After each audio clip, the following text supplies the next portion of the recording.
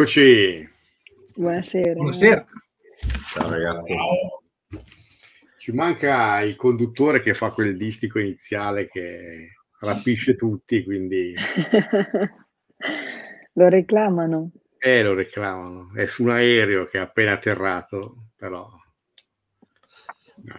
A breve arriverà. A breve Direttare un aereo. esatto. A me piace iniziare comunque la live con questo invito per andare a Messina. Io una trasfertina a Messina la farei. Ci sì, sta. anch'io, anch'io, sì, anch'io. Fare Reggio Messina un giorno. Sono, No. farei, farei, sì. È un po' che manco dei servizi. Sì. Adesso sto leggendo. Adoro. No, poi adesso che, ci fa- che fanno il ponte sullo stretto, no? Esatto, no, ma io voglio andare con Caronte. No, io, io preferisco andare in Sardegna da Monza, ehm. Ah, anche questa c'è, sì, c'è anche questa. Sentite anche quello. Ma perché poi da Monza, scusa, non da Milano, da Monza? Ah, qui. è giusto, perché Monza è, insomma, è importante. Eh, ho capito, ma eh, sarà importante, più importante di Milano, dici? Ci sta, No, eh, so. È un distretto importante anche de- degli ultimi 30-40 anni del nord Italia, quindi va considerato non solo perché io vivo in provincia di Monza. Eh, cioè, la fanno per te, la verità, che vai diretto a... diretto a... dove? A qualche spiaggia della Sardegna. Esatto, no, no, quello sì. No, però, eh, però approfittiamo di, di- di andare ancora senza ponte, quindi a Messina, perché la traversata io la ricordo con, con piacere. Tra l'altro su quel traghetto ci sono degli arancini buonissimi. Io È vero. ricordo qua che mi sono sempre scannato un sacco di arancini nel, nel tragitto. Ma voi non siete mai andati in treno? Cioè, col treno che va su... Sai, Ah, una volta- eh, una volta Il Ho visto salire, ma non ci sono salito. col treno. Io al massimo in auto. No, io ho fatto tutto in auto, a piedi, ma anche col treno si può andare. Ma Io col treno sono salito una volta, ho lavorato in Calabria e una roba turistica e ho portato dei turisti con, con il treno dall'altra parte, sì. Sì, sì, si può andare in treno. È lunga. È lunga, sì, da qui è lunga. Però il treno è sempre il treno, a me piace. Bello il treno. Unico Al- mezzo su cui riesco a dormire, tra l'altro. Questa domanda è per Albe, dai, che, che segui tantissimo la Serie C, no? Chi è che sale dal girone C? Beh, tutto, il sale a Juve Stabia, Eh, Eh, adesso una Durante, tra l'altro, giocatore Eh. che io ho visto nei giovani dell'Inter. Ah, siamo sempre per il miracolo Crotone. Io ormai ho sposato quella causa fino alla fine, però è dura, ecco. eh, si fa Però dura. è, una gra- è un grande girone quello, grande girone. Ha una grandi piazze, quello, Grandi piazze. sì. quello è veramente bello, ma anche se guardi poi le presenze allo stadio è tutta un'altra cosa rispetto a, ad Beh, altre- mercoledì ah, c'è Messina Crotone, ecco perché. Mercoledì eh, ce la fai in treno? Credo, sì, parti Adesso. domani. Esatto. Se parto adesso, se parto adesso. Carlo versione Artemio. Esatto. Ah, Pozzetto è grandissimo, sì, sì. ma è, la mia era una citazione, Simone, vedi che, vedi che l'ha, l'ha colto. Io butto tre là, eh, qua e là delle citazioni. L'altra volta ho fatto anche Maurizio Mosca, che vedo Ah. che... Sì, sì. Possiamo fare il bila- anche il, sì, il bilancino, il, il pendolino. Il bilancino. Il Pendolino, alla fiera. Il momento bilancino no. Quello No, pendolino. diciamo io di no, tanto che io devo iniziare la dieta al 6 gennaio, sono 28 febbraio, sto ancora or- organizzando. Vabbè, due mesi sabbatici ci stanno. Che fretta c'è. esatto. Io ho persino iniziato ad andare a correre, vi dico. Roba... mm, Ah, io quello è dura. È dura. Però per piombare a bomba sugli argomenti, Sì, sento clacson in giro, ma ci dovrebbero essere dopo stasera. Dici? Eh, dico di sì, dai. Stasera eh sì, 12 sono tanti punti. Eh. Tanti, sono tanti. Non li prendi più 12. 12 sono? Iniziano a essere di meno. Cioè, iniziano ad essere di meno poi gli scontri diretti. Questo era uno snodo cruciale, questo qui di stasera e anche quello di domenica.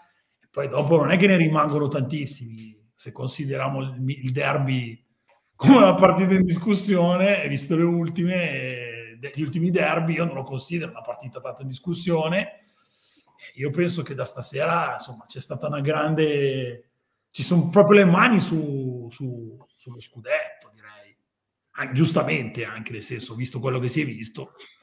Sì, io ero allo stadio, onestamente si vedono delle cose sempre più interessanti, anche secondo me dettate molto dalla fiducia che ha la squadra, però onestamente si muove bene, al di là poi delle polemiche, io ti dico la verità, dallo stadio ho visto poco, cioè eh, non avevo un televisore vicino, quindi non so aggiungervi nulla, rispetto a quello che sugli episodi del, dell'annullamento di, del gol di, di e del rigore poi però in generale la partita ho visto non ho visto male l'Atalanta l'avevo vista peggio col Milan però insomma l'Inter ha una fluidità come dice Jack posizionale notevole.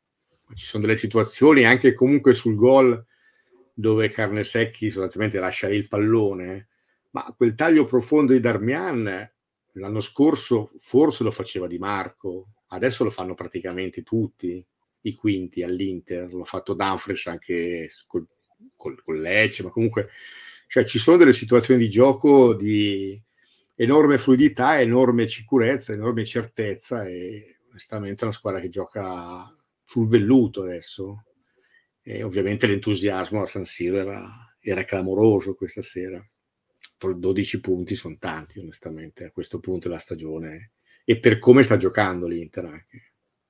Però ragazzi io mi sono clamorosamente dimenticato di dirvi che Sabri eh, c'è solo la prima mezz'ora, per cui se abbiamo cose calde sul Napoli dobbiamo partire con il Napoli. Napoli partiamo, partiamo. Eh, io ho visto il primo tempo del Napoli, però partiamo a Sabrina perché mi sembrava una, anche qui un tappeto, dico, è andata via liscia sembrava l'ennesima maledizione Sabre, no? Cioè il primo tiro in porta, gol. e invece com'è?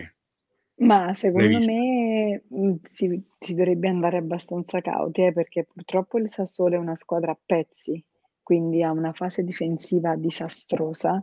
Quindi, insomma, poi se hai davanti un ragazzo come, come Osimhen, che comunque di nuovo è in grande spolvero, ehm, sta riprendendo la condizione dopo la Coppa d'Africa, perché poi è uno che la butta sempre dentro, ehm, allora poi tutto risulta più facile. Quindi ah, già qualcosa avevamo visto con, contro il Barcellona ehm, all'inizio, ci sono delle migliorie, se vogliamo, no? delle parvenze di idee, però secondo me non è una prova da giudicare sulla base del risultato, cioè non mi sembra che corrisponda completamente perché poi il Sassuolo è in una situazione veramente limite. E, secondo me quando sai si confrontano due squadre in profonda difficoltà poi vengono fuori i valori tecnici del singolo. E quindi in questo caso eh, il Napoli chiaramente è superiore. Però mi sembra ben lontano dall'essere una squadra in forma e godibile nel, nel vederla giocare. Non, non mi risulta sinceramente non, non mi pare così. Però magari questa vittoria mh, mm, può portare quell'entusiasmo necessario per acciuffarsi matematicamente a, all'idea che l'Europa sia ancora possibile, no? perché resta fin quando la matematica lo permette poi l'obiettivo principale.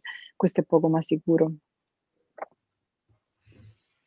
Sì, onestamente sono d'accordo. Eh, c'è una valutazione da fare, poi dopo la faremo anche magari sulle le, le squadre diciamo della parte destra della classifica sono sempre davvero ogni volta ci interroghiamo se davvero si, si, dovrebbe tornare a 18 perché ci sono squadre veramente messe male. Male. E, e alcune che sono addormentate come il Sassuolo. Però del Napoli Mm, Lori, che, che, che, che, sensazione hai? Cioè, ovviamente sì, un minimo un po' più cioè, di calma, però è vero, se, se, rientra col quinto, se anche il quinto dalla Champions, eh, altrimenti comunque insomma è sempre staccato. Eh. Ah, io già nella partita di Champions, come diceva giustamente Sabrina, ho visto la squadra più a suo agio cioè, mh, con, eh, che mi sembra che ha recuperato qualche certezza tattica, diciamo, anche nelle uscite sì. del pallone e da dietro. Anche oggi le ho viste, le ho viste fatte abbastanza bene. E infatti, sui gol comunque sono uscite quasi sempre bene dal centro-destra della difesa. E poi ho visto, vabbè, oggi Anghissà, l'avevo già detto col Barcellona che mi era piaciuto molto. E oggi, comunque, vabbè, netto di quell'assist pazzesco, però sembra che abbia ricominciato a giocare in tutte e due le metà del campo, no? Quindi sì. poi come dice Jack e come abbiamo detto, eh, Sassuolo è una squadra in enorme difficoltà e quindi da subito è stata, cioè ha prestato proprio totalmente il fianco e quando giochi così lungo, così sgranato, eh, dopo con giocatori come Osimene e Kvarashkelia ti fanno male, però sottolineo il gol che ha fatto Racic perché è un gol pazzesco. Poi visto da dietro, è veramente... Ha fatto, ha fatto un gol clamoroso. Addirittura sulla chat di Telegram della fiera dicevano che assomiglia a un gol di cross. E io inizialmente non l'ho visto da dietro quel tiro lì, no? Poi dopo l'ho visto da dietro e ha preso un effetto pazzesco quella palla lì. Cioè all'inizio ho detto, vabbè, que- questa qui è una, è una papera del portiere, perché comunque va dentro piano. Ma poi dopo, quando l'ho visto da dietro, ha preso un effetto pazzesco questa palla, veramente. E Racic può dire che finora non si è mai visto, cioè non ha mai giocato, o comunque non ha mai giocato in maniera, cioè non è stato mai poi riproposto un paio di volte di fila ed è un giocatore che francamente dopo che ha fatto un certo tipo di esperienze della sua carriera, secondo me a Sassuolo gioca in ciabatte Racic, cioè, così dovrebbe essere per quello che ha fatto in carriera. Poi non è, non, chiaramente non è cross, è lontanissimo dai giocatori che ha il Napoli a centrocampo, però è un calciatore che secondo me se, se veniva coinvolto un po' di più dall'inizio poteva garantire qualcosa che manca in questo centrocampo, mi riferisco a un po' di struttura, un po' di, di fisico anche, anche di cattiveria, perché è un giocatore anche cattivo. Poi chiaro, oggi giochi contro, insomma, contro il Napoli che ti prende sempre eh, sempre controtempo, arrivano sempre col pallone, con i tempi giusti, è una partita impossibile. Però intanto, ecco, una piccola cosa sul Sassuolo, visto che quasi tutto il resto è negativo, però questo qua è un, gol pazzesco, è giusto dirlo. No, ma secondo me il Sassuolo, tra le cose, le situazioni è che il Sassuolo non ha una squadra da retrocessione, però no. quelle condizioni in cui ti trovi, non sei abituato a lottare, e sembra che rischi più degli altri proprio per questo motivo, perché è lo spirito sbagliato. Quindi io penso che già eh, l'esperienza di Bigica sia finita, perché se ti prende sei, onestamente fai fatica a continuare, non per colpa sua naturalmente, ma per quello che gli hanno lasciato. Però, Però devi fermare qualcuno, eh? cioè devi, devi eh? fermare qualcuno entro il weekend. Sì, per me dev- devono intervenire onestamente. Poi magari visto che... Sono troppo allo sbaraglio.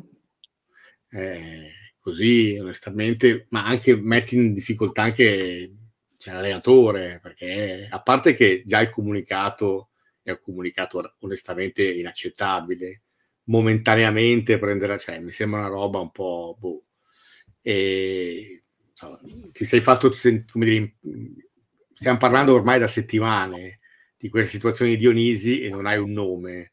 Oppure, ancora peggio, vuoi provare se l'allenatore della primavera riesce a fare qualcosa e poi dopo... Cioè, mi sembra che stai giocando col fuoco, ecco. E adesso devi andare su un tecnico che però ovviamente ti chiederà un biennale, eh, su un, un, tecnico, come dire, che è abituato almeno a questo tipo di, di situazioni. E allora tornano i grandi nomi. Il Balla. Eh, sì. è, l'ora, l'ora di è l'ora di Gigi Cagni, dai.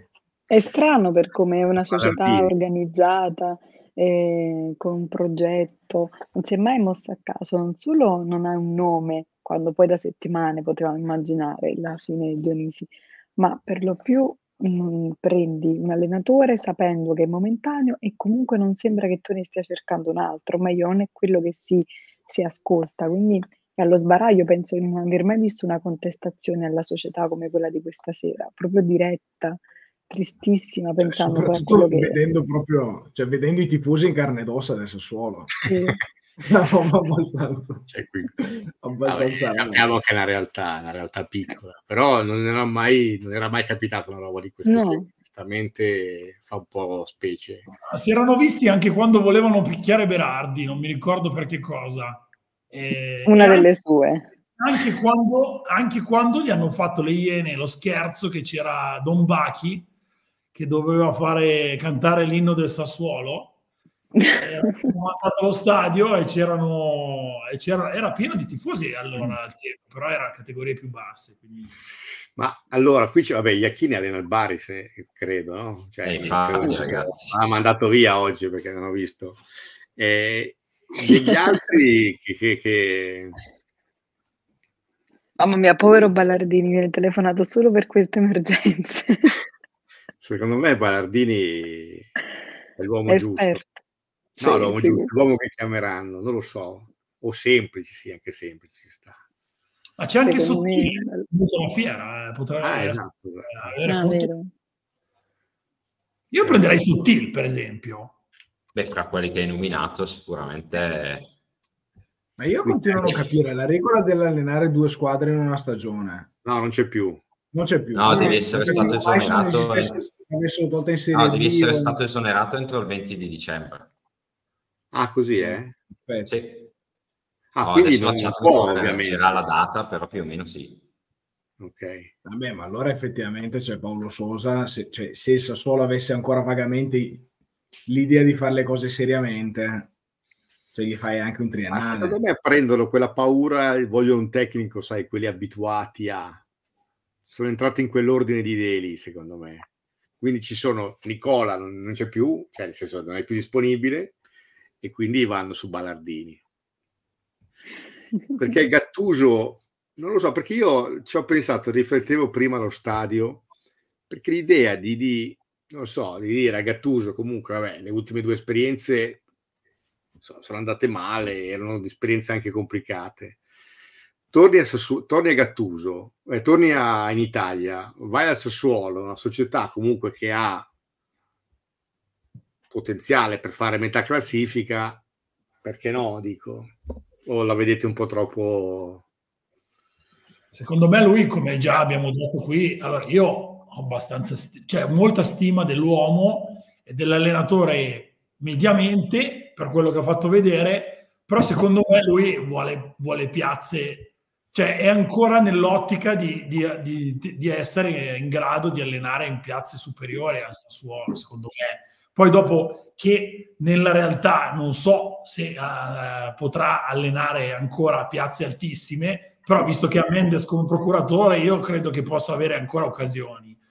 E io, per me questa squadra qui può giocare anche a tre, eh? cioè il Sassuolo, nel senso, visto che questi allenatori qui che abbiamo nominato, gran parte eh, giocano a tre, secondo me il Sassuolo può giocare anche a tre. Sì, però non è quello di giocare a 3 a 4, secondo me. Il problema qui è lo spirito di provare a giocare. Non lo No, so. Tra l'altro domenica c'è una partita col Verona che è una partita fondamentale, cioè subito. Mm.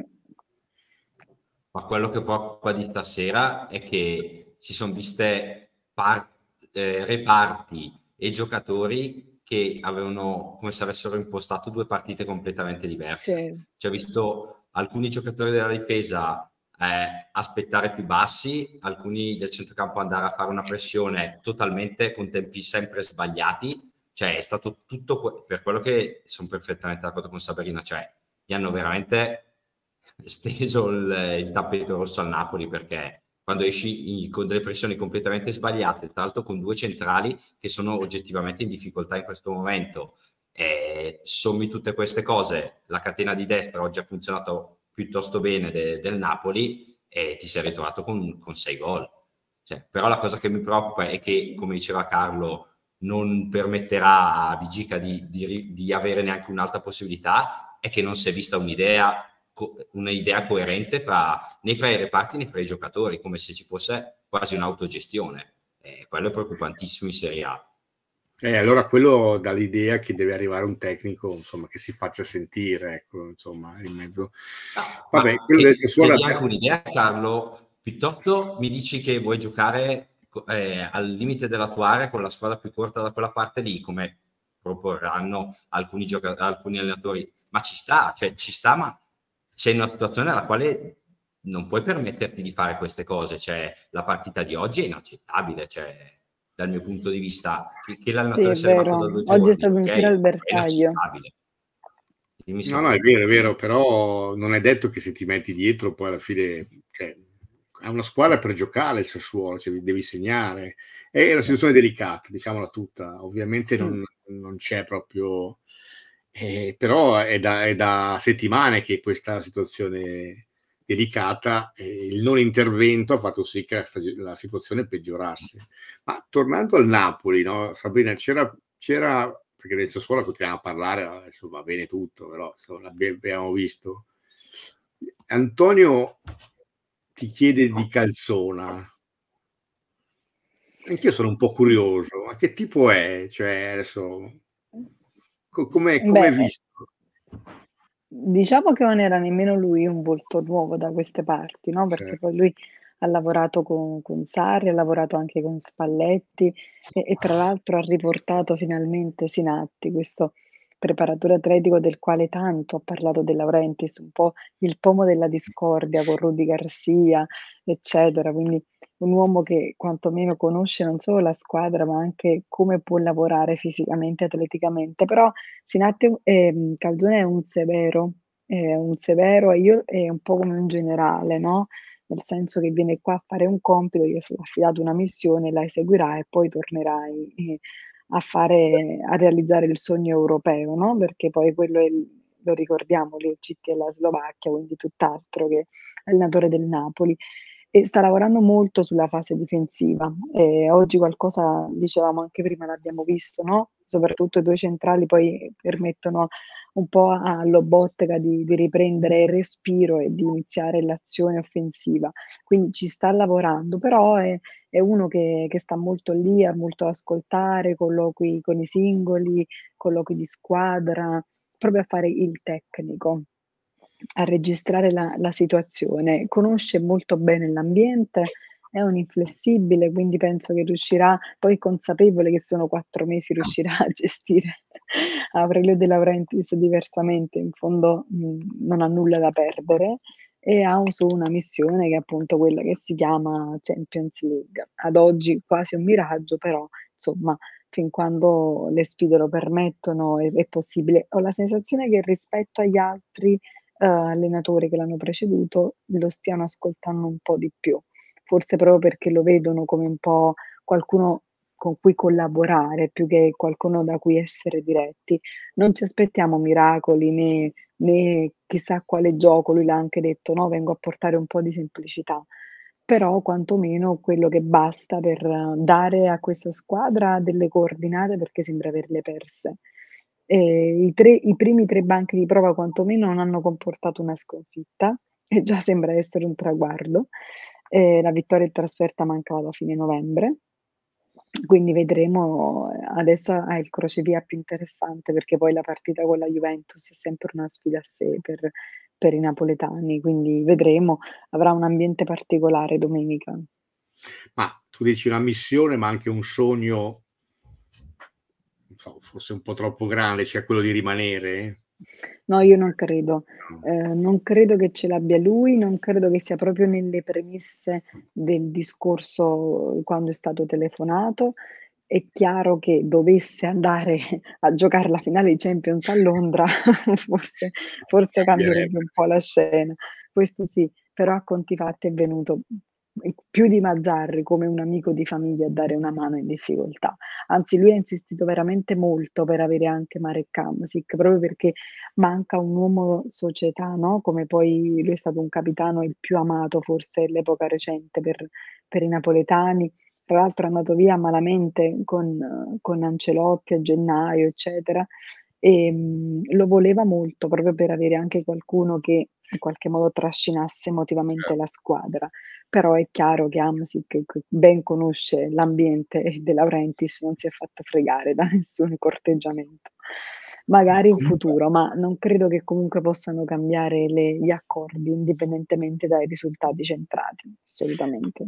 No, perché comunque prima Calzona fa una super giocata, eh. Cioè Calzona che va che è all'europeo a giugno e è comunque un europeo in cui anche se fa 0 punti, cioè non è che vada a fare brutte figure. Ehm, cioè, se già il suo lavoro l'ha già fatto, Sì. in più eh, è difficile fare peggio rispetto ai due che, eh, che l'hanno preceduto. Adesso, cioè, diciamo, strappare un biennale da una squadra di Serie A in estate, se è quella l'ambizione sua, ehm, non penso che sarà particolarmente difficile. Cioè, per dire, anche un Sassuolo che si salva, leggevo tipo i nomi che, che ci stanno, tipo i Possanzini, Magnanelli, eh, magari que- che possono iniziare un tipo di progetto leggermente diverso per il Sassuolo, cioè perché no anche un Calzona, eventualmente. Ah beh, sicuramente per lui è un'occasione, no, questa, ehm, di farsi vedere anche perché era una panchina in prima, in Serie A, eccetera. Quindi sicuramente per lui è una grande occasione, però non una di quella che può stravolgere, ti dicevo, i i piani del Napoli che comunque lavora sta cercando l'allenatore, questo è poco ma sicuro. Ehm, le telefonate sono a Stefano Pioli, uhm, il sogno resta Antonio Conte, ma mi sembra abbastanza raggiungibile, soprattutto per i suoi obiettivi professionali e personali. Ehm, Fariol del Nizza, insomma sta sta facendo le Vincenzo Italiano, ehm, sta facendo il suo giro di contatti, però Ah, oggi come oggi è una panchina rischiosa. te l'ho detto, cioè, ma il ritorno del sarrismo non è possibile. Beh, innanzitutto dovrebbero ritornare certi, ehm, tipi di giocatori. No, no, il ritorno di eh. Sarri, non del sarrismo, scusami. Eh no, Cioè, dico no, per il per ritorno della rendere rivoluzione, niente, non è possibile, è un sogno. Sai, è è stato tanto amato quanto poi, ehm, non dico odiato, però sai, ehm, Sarri ha creato una corrente di pensiero, no, c'era anche una pagina Facebook che esplose, Sarrismo e Stupendo. rivoluzione, se ricordi, no? Poi, dato che lui, ehm, a a queste latitudini è stato avvertito come colui il quale poi ha sbugiardato tutto il suo credo, no, per ciò che rappresenta istituzionalmente la Juventus, trasferendosi, non avrebbe più quell'imprinting. Chiaro è che il suo calcio continua a essere considerato meraviglioso, per continuità anche di maggiore impatto di quello di Spalletti, no, proprio per una questione di tempi. Ehm, lui ha aveva creato un esercito che, eh, insomma, poi nessuno più di quei giocatori si è ribadito da nessuna parte, però oggi sarebbe inverosimile. Poi non credo che abbia tanto piacere a collaborare con con la società. Non penso si troverebbero d'accordo. Però lui arriva, Sabri, ti dice napoletani, cioè proprio in piazza di pubblicità, scusate, ho sbagliato ad andare alla Juve. Secondo me lo perdonano i napoletani.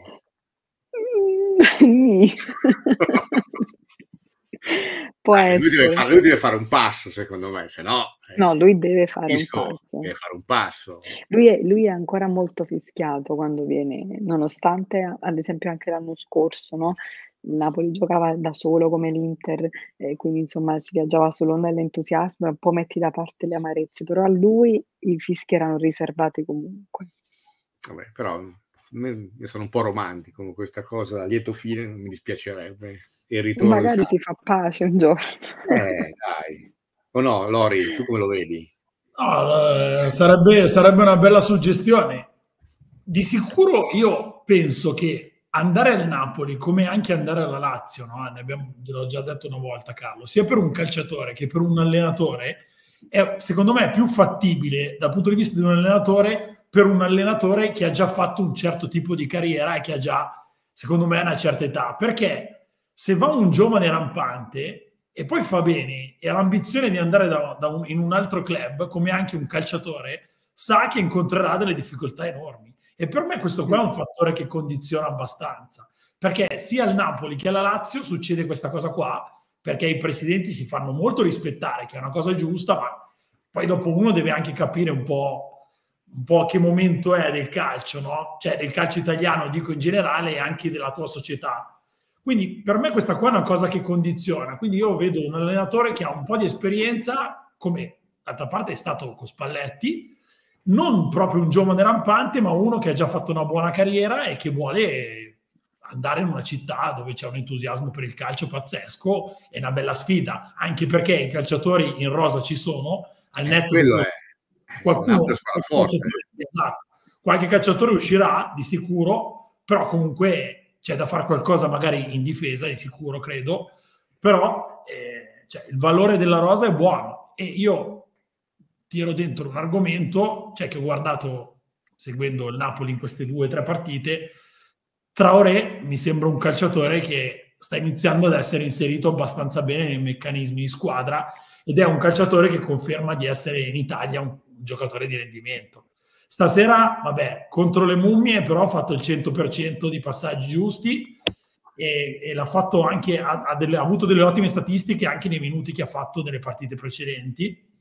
E vedo, vedo, vedo che viene sempre di più inserito a fare la mezzala sinistra che mi sembra una cosa buona e giusta. Ecco. Ora non so se al ritorno di Champions giocherà lui, però a parte che io penso che Cagiuste sia comunque un buon giocatore, un giocatore che ha le sue peculiarità, però non mi sembra che abbia impattato mai al Napoli e quindi io credo che Traoré in questo finale di stagione si gioca molto. Penso che, il, non lo so, la formula, il Napoli eh, ha diritto di riscatto, no? Credo. Sì. sì, sì. Eh, lui si gioca molto il ritorno in Italia. Secondo me sarebbe, visto che perdi anche Zielinski, sarebbe un, un head molto importante Ma secondo me è quello che al di là del, del nome singolo in generale sì, perderà Osimen, eh, però tanto bisogna pagarlo Osimen, quindi certo. c'è anche un bel gruzzolo per fare mercato.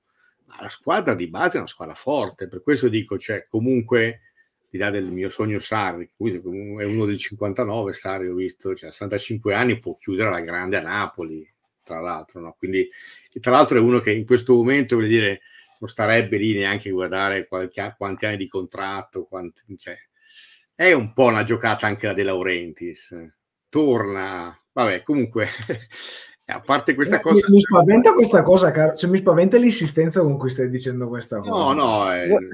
Vuole diffondere un'idea. Io sto segnando, poi... No, perché mi è venuta... Io, diciamo, prima diceva Sabrina una chiamata tipo Pioli, così, io lo vedo giusta, onestamente. Altre un po' azzardate, ho letto anche Palladino. Palladino è arrivato a Napoli eh, diciamo, è napoletano, in... non so quanto sì. vorrà venire. No, no, lui ha detto Napoli è la mia città, insomma, celebrato.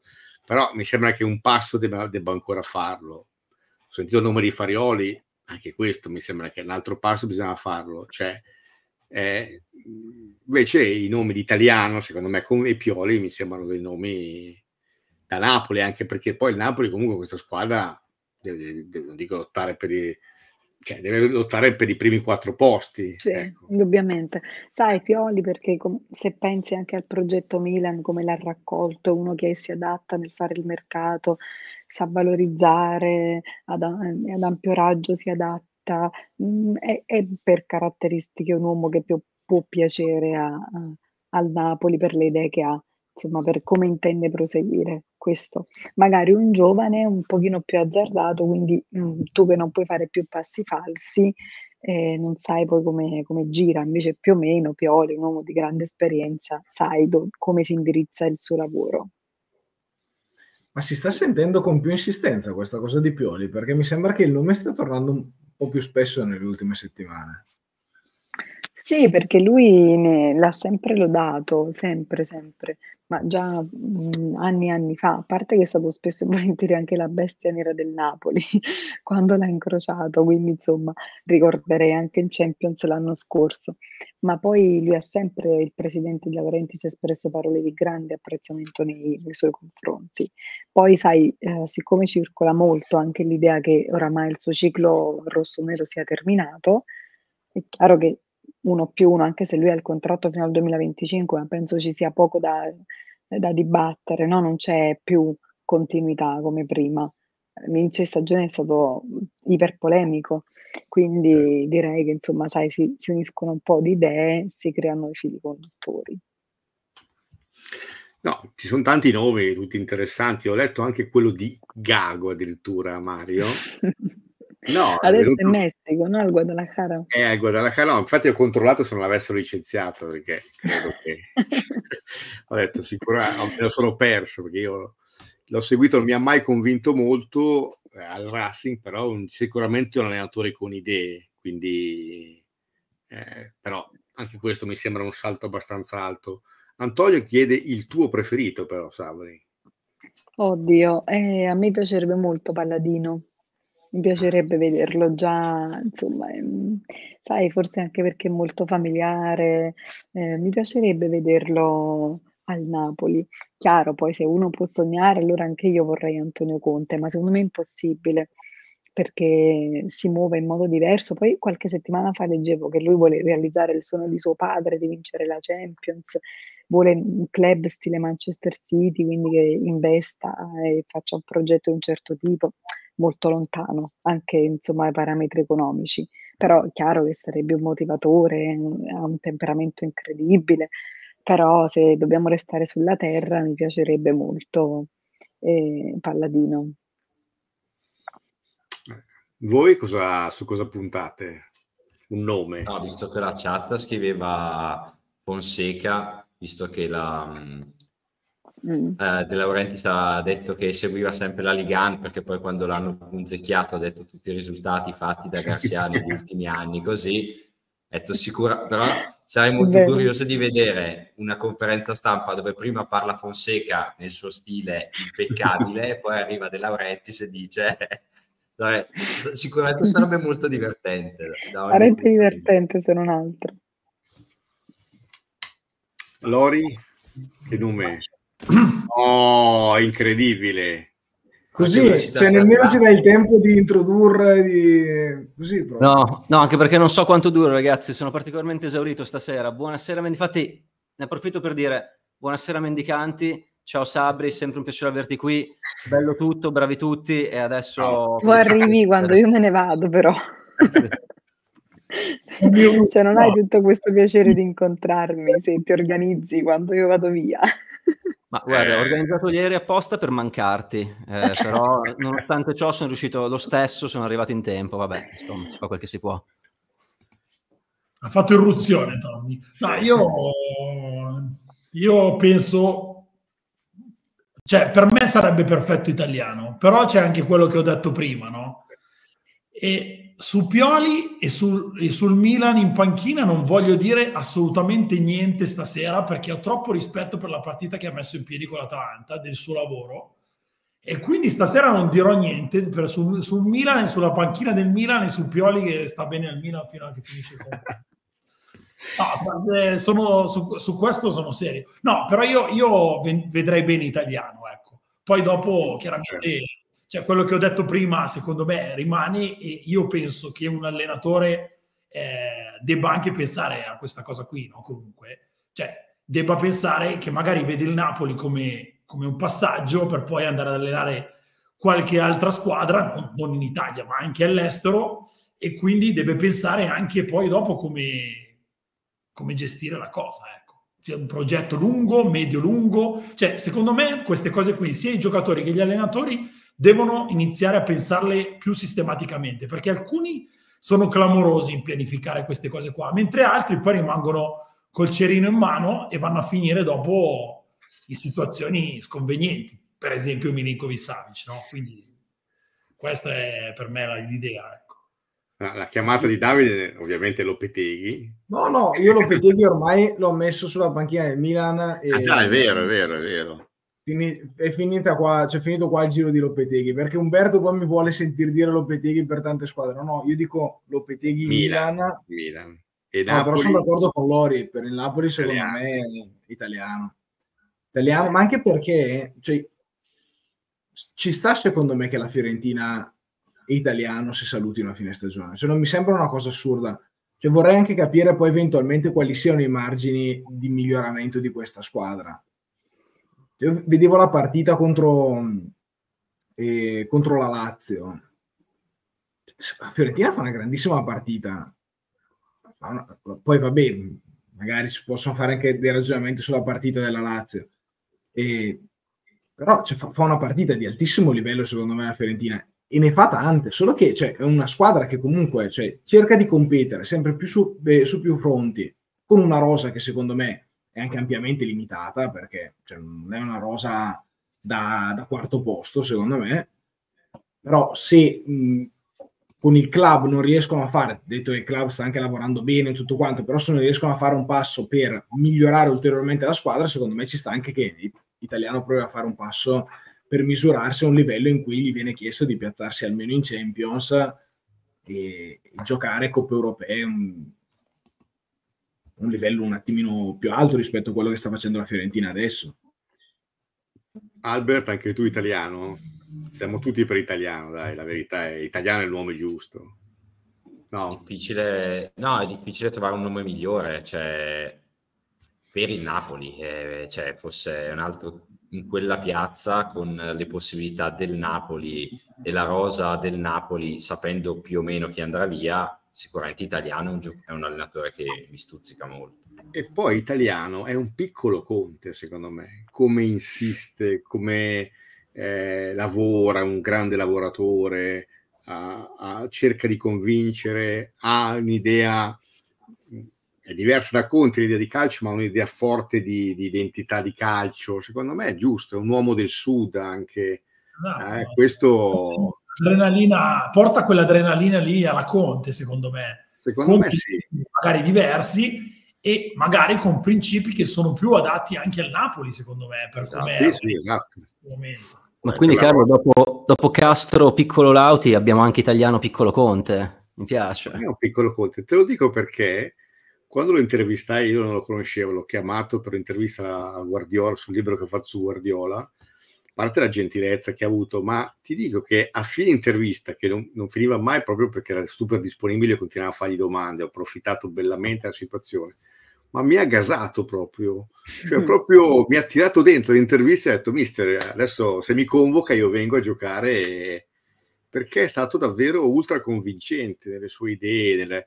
ecco, ha fatto anche quel passaggio, era, quando l'ho intervistato io era il primo anno di Firenze, eh, l'inizio del primo anno di Firenze, quindi ha fatto il suo passaggio, ha fatto coppe europee, quindi mh, secondo me non ha mai sbagliato una stagione, anzi eh, sul fatto che lo criticano a Firenze, a Firenze hanno criticato praticamente tutti, da Trapattoni, insomma, praticamente tutti, a quel punto dico va bene, cioè dopo tot anni cambiamo, e, e via. Per me veramente sarebbe il nome giusto. Io credevo addirittura che lo chiamasse in questa sessione di mercato. Si è detto, no? Sabri, i rapporti sì. comunque con Commisso sono sempre stati buoni, quindi non avrebbe fatto eventualmente uno sgarro. No, l'ha chiamato l'estate scorsa, no? prima poi di arrivare a Rudy Garcia, però la Fiorentina non, non voleva liberarsene, lui non ha insistito particolarmente per non fare un torto no? per i rapporti che ha con Commisso, però è sempre stato un nome che ha, ha avuto lì eh, la dirigenza in considerazione. Poi sai, i rapporti sono un pochino cambiati eh, in certe dinamiche in assenza di Giuntoli, quindi ci sono delle cose da ricostruire anche eh. come comunicazione in questo senso. Però sì, è un nome che secondo me continua a essere chiaramente nel, sul taccuino e magari adesso che il rapporto con la Fiorentina non è più così solido potrebbe tornare in auge, perché no? Sì. Assolutamente. E questa è la chiamata giusta la Lazio deve prendere Mattia deve Almeida, prendere Almeida. che ha vinto anche stasera, mi sembra. Sì. È una citazione più che una chiamata questa, dai. No, esatto. Non si può, non si può. Cioè, a parte il fatto che non capisco che cosa si deve fare per parlare di Almeida in questo paese. Cioè, è un giocatore che ha, tra l'altro, io penso anche amatissimo dalla piazza, no? Sarebbe perfetto Almeida lì. No, ha dimostrato di valere ha fatto, cioè, allora, il campionato greco no, non ha un livello altissimo nella sua, comple- nella sua in generale, però è com- molto complesso da vincere perché ci sono 3-4 squadre che sono più o meno si equivalgono ogni anno e sono lì punto a punto. Quindi finisce sempre all'ultima giornata e Almeida ha fatto, cioè sta facendo dei grandi risultati. In, Ma poi in... de, de, delle squadre più grandi, la sua è, è la minore, cioè l'AIK è dietro l'Olympiakos, il Panathinaikos, anche il PAOK per quello che ha investito in questi anni. Quindi ha vinto l'anno scorso, ha, ha, cioè, ha fatto bene anche in Europa, benissimo addirittura, per quello che ha a disposizione. È un nome, tra l'altro, che da giocatore eh, ha fatto benissimo a Roma, cioè, più di così, non lo so. Cioè, mi sembra veramente un incastro perfetto. Ovvio che Mattias non è un uomo che si fa comandare, ecco, quindi, però neanche Sarri lo è, infatti quando vuole allo titolo gliele dice due cose, quindi non credo che vogliano uno yes man, penso che cercano un allenatore serio ed è giusto. Io potrei quasi amare i biancocelesti allora. Sì, yes merita eh. tutto il nostro supporto. non vedo l'ora. Sì. Sabri, noi ti lasciamo andare, ti ringraziamo tantissimo sì, per la Vado a parlare di Inter altrove. in Sud America. Non mi raccomando, ah, non bene come qua, eh, Sabri, fai peggio dall'altra parte. Ah, no, sempre ah, bene. c'è uno spagnolo che è incredibile. No, poi fin quando Lautaro fa, fa tutte queste prestazioni mi diventa inevitabile parlare bene. Però ci dovrei raccontare il segreto di parlare quello spagnolo che parla. Io ti ho ascoltato, sembra veramente madrelingua. Alla prossima puntata ve lo svelo. Migliore di quello di, di, di Davide, del tedesco okay. di beh, no, Va bene, buonanotte ragazzi, ciao, buon proseguimento. Ciao ciao ciao, bacio, ciao ciao. Tom, io non so cosa dire. Ti dico, io mi ero segnato solo questa cosa. Cioè, avevo fatto tutto un preambolo, c'era nella mia testa un discorso che mi ero preparato sugli abbonamenti, mm. perché questi giorni di agonia in tua assenza ho dovuto inventarmi cose che non sono in grado di fare. Volevo ringraziare Spolle, che è un fedelissimo, che ha rinnovato l'abbonamento, e poi dire, non dico nulla sugli abbonamenti perché poi faremo partire un countdown, creeremo un hype incredibile per un momento mastrota di altissimo livello, però poi tu sei entrato così a sorpresa, hai fatto impazzire la chat, e non, non so, non so nemmeno più cosa dire. Non stai contento, Davide, che anche quando non ci sono ti rovino comunque le scalette? No, no, no, no non ho, ho, nemmeno osato fare le scalette. Le scalette le faccio solo quando ci sei, perché so che solo per quello, solo per il brivido di far saltare la scaletta. Sì, come si dice quel detto, dice se vuoi, eh, se vuoi che Dio ti rida addosso, cerca di fare un piano. Di solito è così. Bella questa, non l'ho mai sentita, ma la userò, mi è piaciuta. Eh, ho dovuto tradurlo simultaneamente dall'inglese e con lo stato in cui sono adesso, cioè già il fatto che abbia tirato una, una frase di mezzo senso compiuto, sono molto sorpreso. Grande. No, avevamo ric- parlato dell'Inter, no? Abbiamo iniziato a parlare dell'Inter che è stata... Vi dico due o tre dichiarazioni che sono state nel post ah, vai, vai. interessanti. Eh? Vai, vai. Qui sono uscito a vedere il primo tempo, comunque l'unica cosa che sono uscito a vedere stasera, Francoforte. Vai.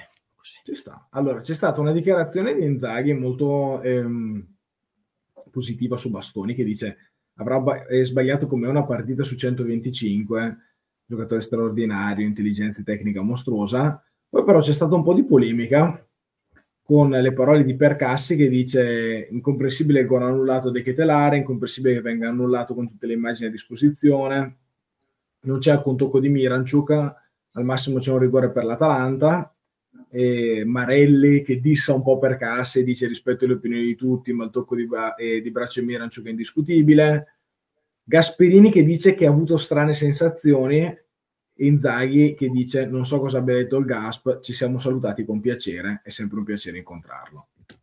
Eh, Dice, quindi vabbè, si, è, si è parlato un po' della, della, anche della questione arbitrale stasera e boh, non so se abbiamo qualcosa da aggiungere o qualcosa da no, io aggiungo una cosa che ancora una volta vedendo dal vivo The Kettler mi sembra davvero la costruzione di un giocatore di grandissimo livello, secondo me. Cioè ha delle doti fisiche che io raramente vedo in un giocatore di 1,90 m. Tecniche. Eh, Do, stai dicendo tecniche. Tecniche e fisiche. Eh, sì, sì, tecniche abbinate a fisiche. Sì, sì, onestamente è un giocatore impressionante. Certo, dici non ha la bava alla bocca, quello sì, però come muove le gambe velocemente, come rulla i piedi per un giocatore così alto, come resistenze sul lungo, nelle corse.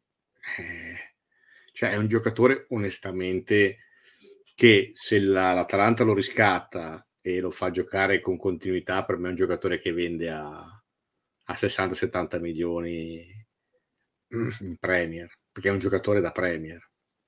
Cioè, con quel fisico, quella tecnica, certo, si vede qualche volta che è un po' indolente, indolente, ha quella, quella, quel modo di approcciare un po' non appunto da, da lottatore, da, da, però onestamente è veramente cioè, troppo bello anche da vedere, bello da vedere, tecnico, con idea di gioco, secondo me non gli manca niente onestamente, manca quel po' di, po' di esperienza e certo ha bucato una stagione secondo me a livello psicologico un po' ne risente, ma eh, sul giocatore onestamente, ripeto, rivedendolo dal vivo è, è impressionante.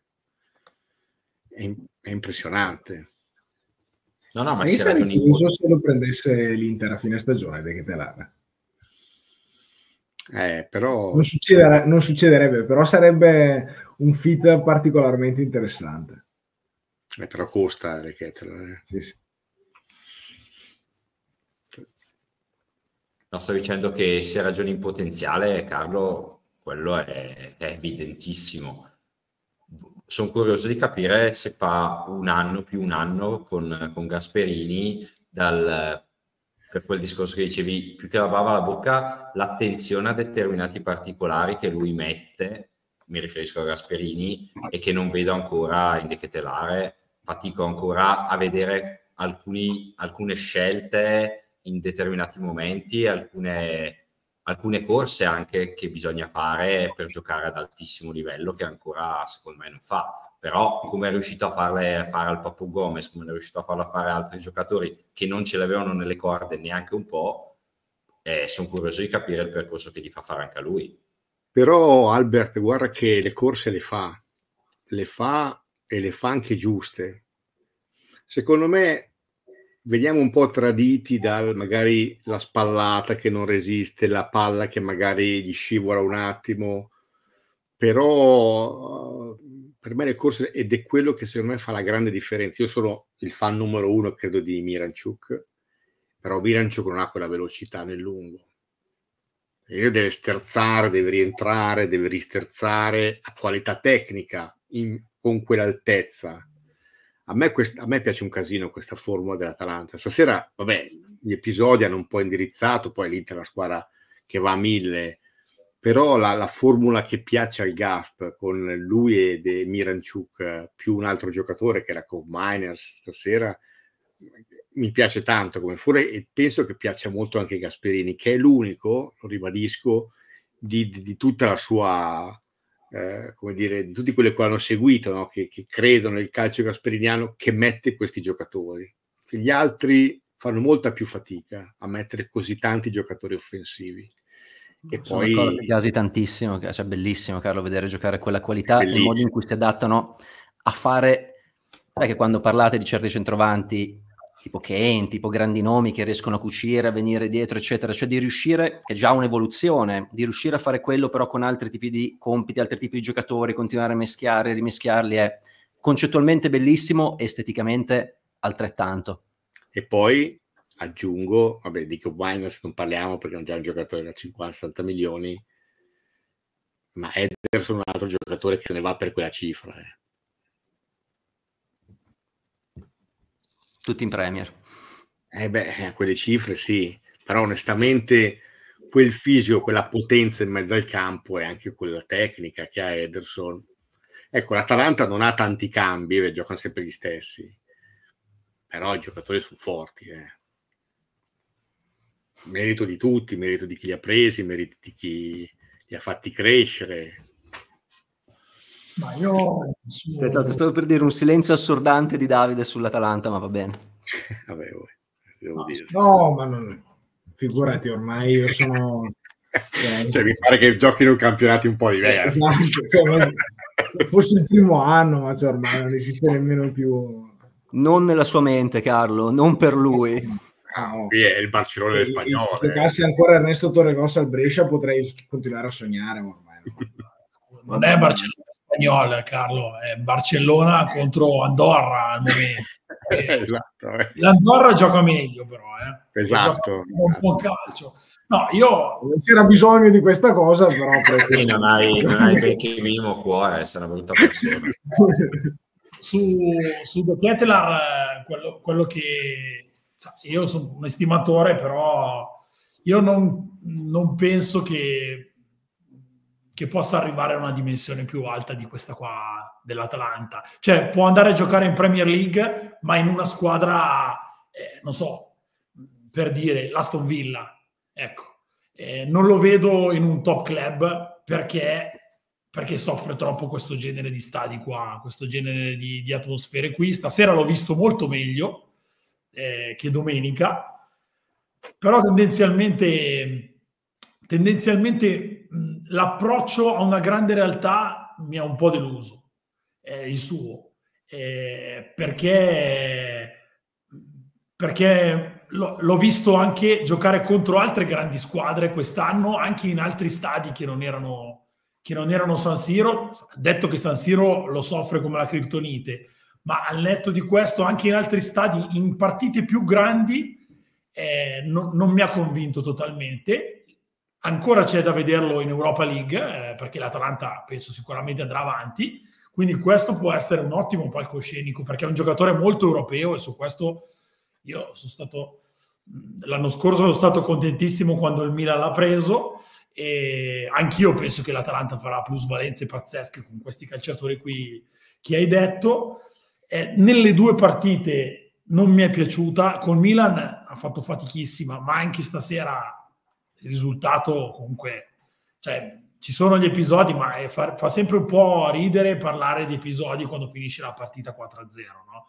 Eh, quindi è vero che l'episodio, il primo, è abbastanza in un, calato in un momento della partita dove poteva cambiare qualcosa, sicuramente, però dopo la partita finisce 4-0 e, e queste due forse un po' sulle gambe, c'è un momento un po' di down fisico, anche perché ha corso meno anche come dati, l'ho visto che ha corso meno, però c'è un giocatore che mi ha sorpreso quest'anno soprattutto, perché è un giocatore di rendimento che però negli altri anni aveva fatto vedere qualche limite. Invece secondo me quest'anno è stato il marcatore puro più, più efficace della Serie A, è Jim City, che veramente sull'uomo non sbaglia la palla. Mi hai bruciato. Cioè, anche, eh, anche col Milan, per esempio, in cui la, la squadra ha fatto fatica, si è abbassata, si è disassata, a volte ha subito, però lui non ha sbagliato una palla. Stasera con Lautaro devo dire che nell'uno contro uno, quando soprattutto Lautaro si abbassava, ha fatto un po' fatica. Cioè non, and- non se l'ha sentita di andarlo a prendere molto alto, secondo me, in alcuni momenti del primo tempo. Però comunque non ha sfigurato nemmeno stasera, secondo me e, ed è un giocatore che ha delle letture anche di posizionamenti interessanti, oltre ad essere un difensore vecchio stampo che se ti si incolla addosso eh, le vince tutte lui. Quindi non è più una casualità, è un calciatore, non so che, non so che margine può avere Jim City in futuro, no? perché comunque è un calciatore già esperto, però sicuramente ha raggiunto un livello importante, devo dire anche perché io me lo ricordo quando era arrivato poi da Benevento, che prima ha giocato a Avellino, cioè il percorso che ha fatto, questo livello qua, non gliel'avresti dato mai nella vita, come non glielo davi a Toloi, come non gliel'avresti dato a Palomino, cioè almeno io, eh, cioè, gli ha fatto fare un percorso Gasperini che gli ha portati a, a giocarsi, a giocare a livelli altissimi. Stasera mi hai bruciato, Lori, mi ero, mi ero segnato proprio il nome Gin City perché è quello che mi è piaciuto di più. Tu dici alcune volte ma a me sembra che dei tre dietro è quello che, che ha affrontato con molto più coraggio Lautaro e se vai a vedere quando svariava Lautaro andava piuttosto a cercare gli altri due piuttosto che andare da lui eh, quando, aveva, quando, aveva, la possibilità. Eh, mi è piaciuto molto Jim City e è nell'ottica di quei calciatori che Gasperini riesce a far rendere, riesce a fargli fare tutto un percorso che magari non hanno le prospettive eh, dei De Ketelare o, dei Oilund o di tutti gli altri giocatori che passano, stanno un anno o due e poi vengono rivenduti, però poi fanno la fortuna dell'Atalanta per tanti anni. E c'è uno che si chiama Damiano che gioca nelle giovanili dell'Atalanta che, bah, a vederlo così eh, direi che, che, sembra abbastanza predestinato, devo dire. Avendolo visto eh, negli ultimi mesi, mi sembra un calciatore interessante per il futuro dell'Italia. Così occhio e croce. Eh. Poi io si sa che non sono un grande esperto di giovanili italiane, però qualcosa lo vedo e questo qua è un calciatore interessante. Eh, ma anche in Under 23 ne hanno due o tre interessanti.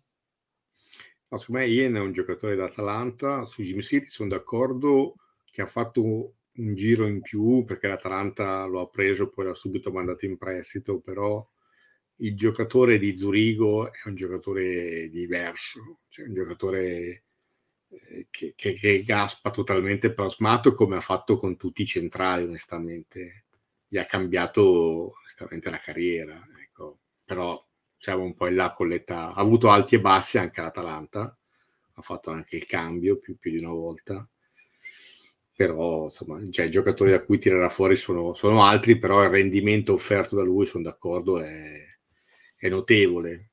E su Ian, io sono, per me è una, è una chiamata perfetta per l'Atalanta. C'è un tema, ragazzi, eh, c'è un tema che forse in Italia non è è, d'attualità solo da qualche giorno o da poche settimane. In Cile è un tema da 25 anni, cioè Alexis Sanchez. E adesso è, to- è tornato alla carica, vedo tifosi cileni caldissimi, ma, ma, persino ho scritto gente cilena che non sentivo da 3 o 4 anni, tipo, ma perché Sanchez non gioca? Cioè, mi ha scritto un mio amico cileno che avevo conosciuto in Spagna una vita fa e mi chiede di Sanchez così da nulla, cioè nemmeno mi ha chiesto come stessi. E, non so. Ti ha chiesto cioè, come sta Sanchez? Sì. Ma chiesto come sta Sanchez, esatto. Cioè, perché non gioca? Scandalizzato. Eccoli. e ricordiamoci che più invidiabile della collezione di maglie c'è solo la collezione di pantaloncini. No, no, quelli che uso di più io. Esatto.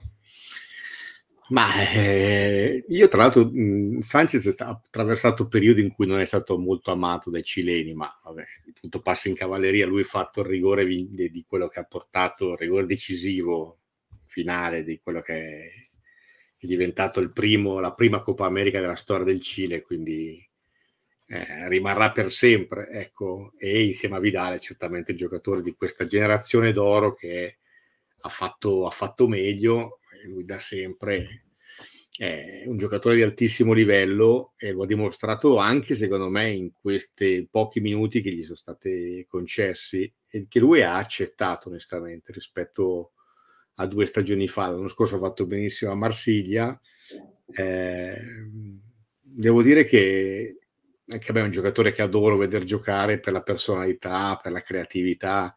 Il gol che fa Lecce praticamente strappa la palla a, a Bisse che, che, era lì davanti non sapeva cosa fare e poi sostanzialmente aspetta il taglio di Frattesi dicendo muoviti che io lì te la metto. Cioè, mi sembra un giocatore che vede due giocate avanti, ovvio che adesso cos'è un 88, quindi non è che sia proprio il primissimo pelo, però è un cambio di, di super qualità, onestamente. Ah, secondo me il tema è più, ma cioè, perché Sanchez sceglie di fare il cambio di super qualità? Vabbè, è una cosa che sente così anche lui, cioè se anche lui si sente questo, si sente di meritare più minuti, torna in un posto in cui non ne aveva trovati così tanti, ecco.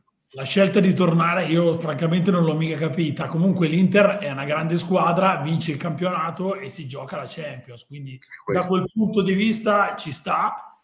Per come è fatto lui non l'ho capita perché, almeno fin qui, è sempre sembrato non tanto, e faccio, dico un eufemismo quando dico non tanto, un team player, cioè è uno che ha un ego abbastanza grande cioè, e che ha voluto sempre eh, metterlo bene in chiaro in qualsiasi caso. Quindi, eh, cioè, secondo me, io, io non l'ho capita tanto, detto ciò, è uno che quando ce l'hai nella rosa io penso sempre che sia utile e sì, nelle ultime due partite l'ho visto un po' più calato, perché prima sembrava ancora una volta, come è successo diverse volte in carriera, il fratello scemo del calciatore buono, eh, perché ha fatto fatica sempre, non sembrava neanche stesse benissimo fisicamente, atleticamente, io l'ho visto malissimo in alcune partite, nelle ultime due mi è sembrato entrare con un furore interessante. Poi siamo lontani da quel calciatore là che ci ricordiamo a alti palcoscenici. Eh. Però in effetti,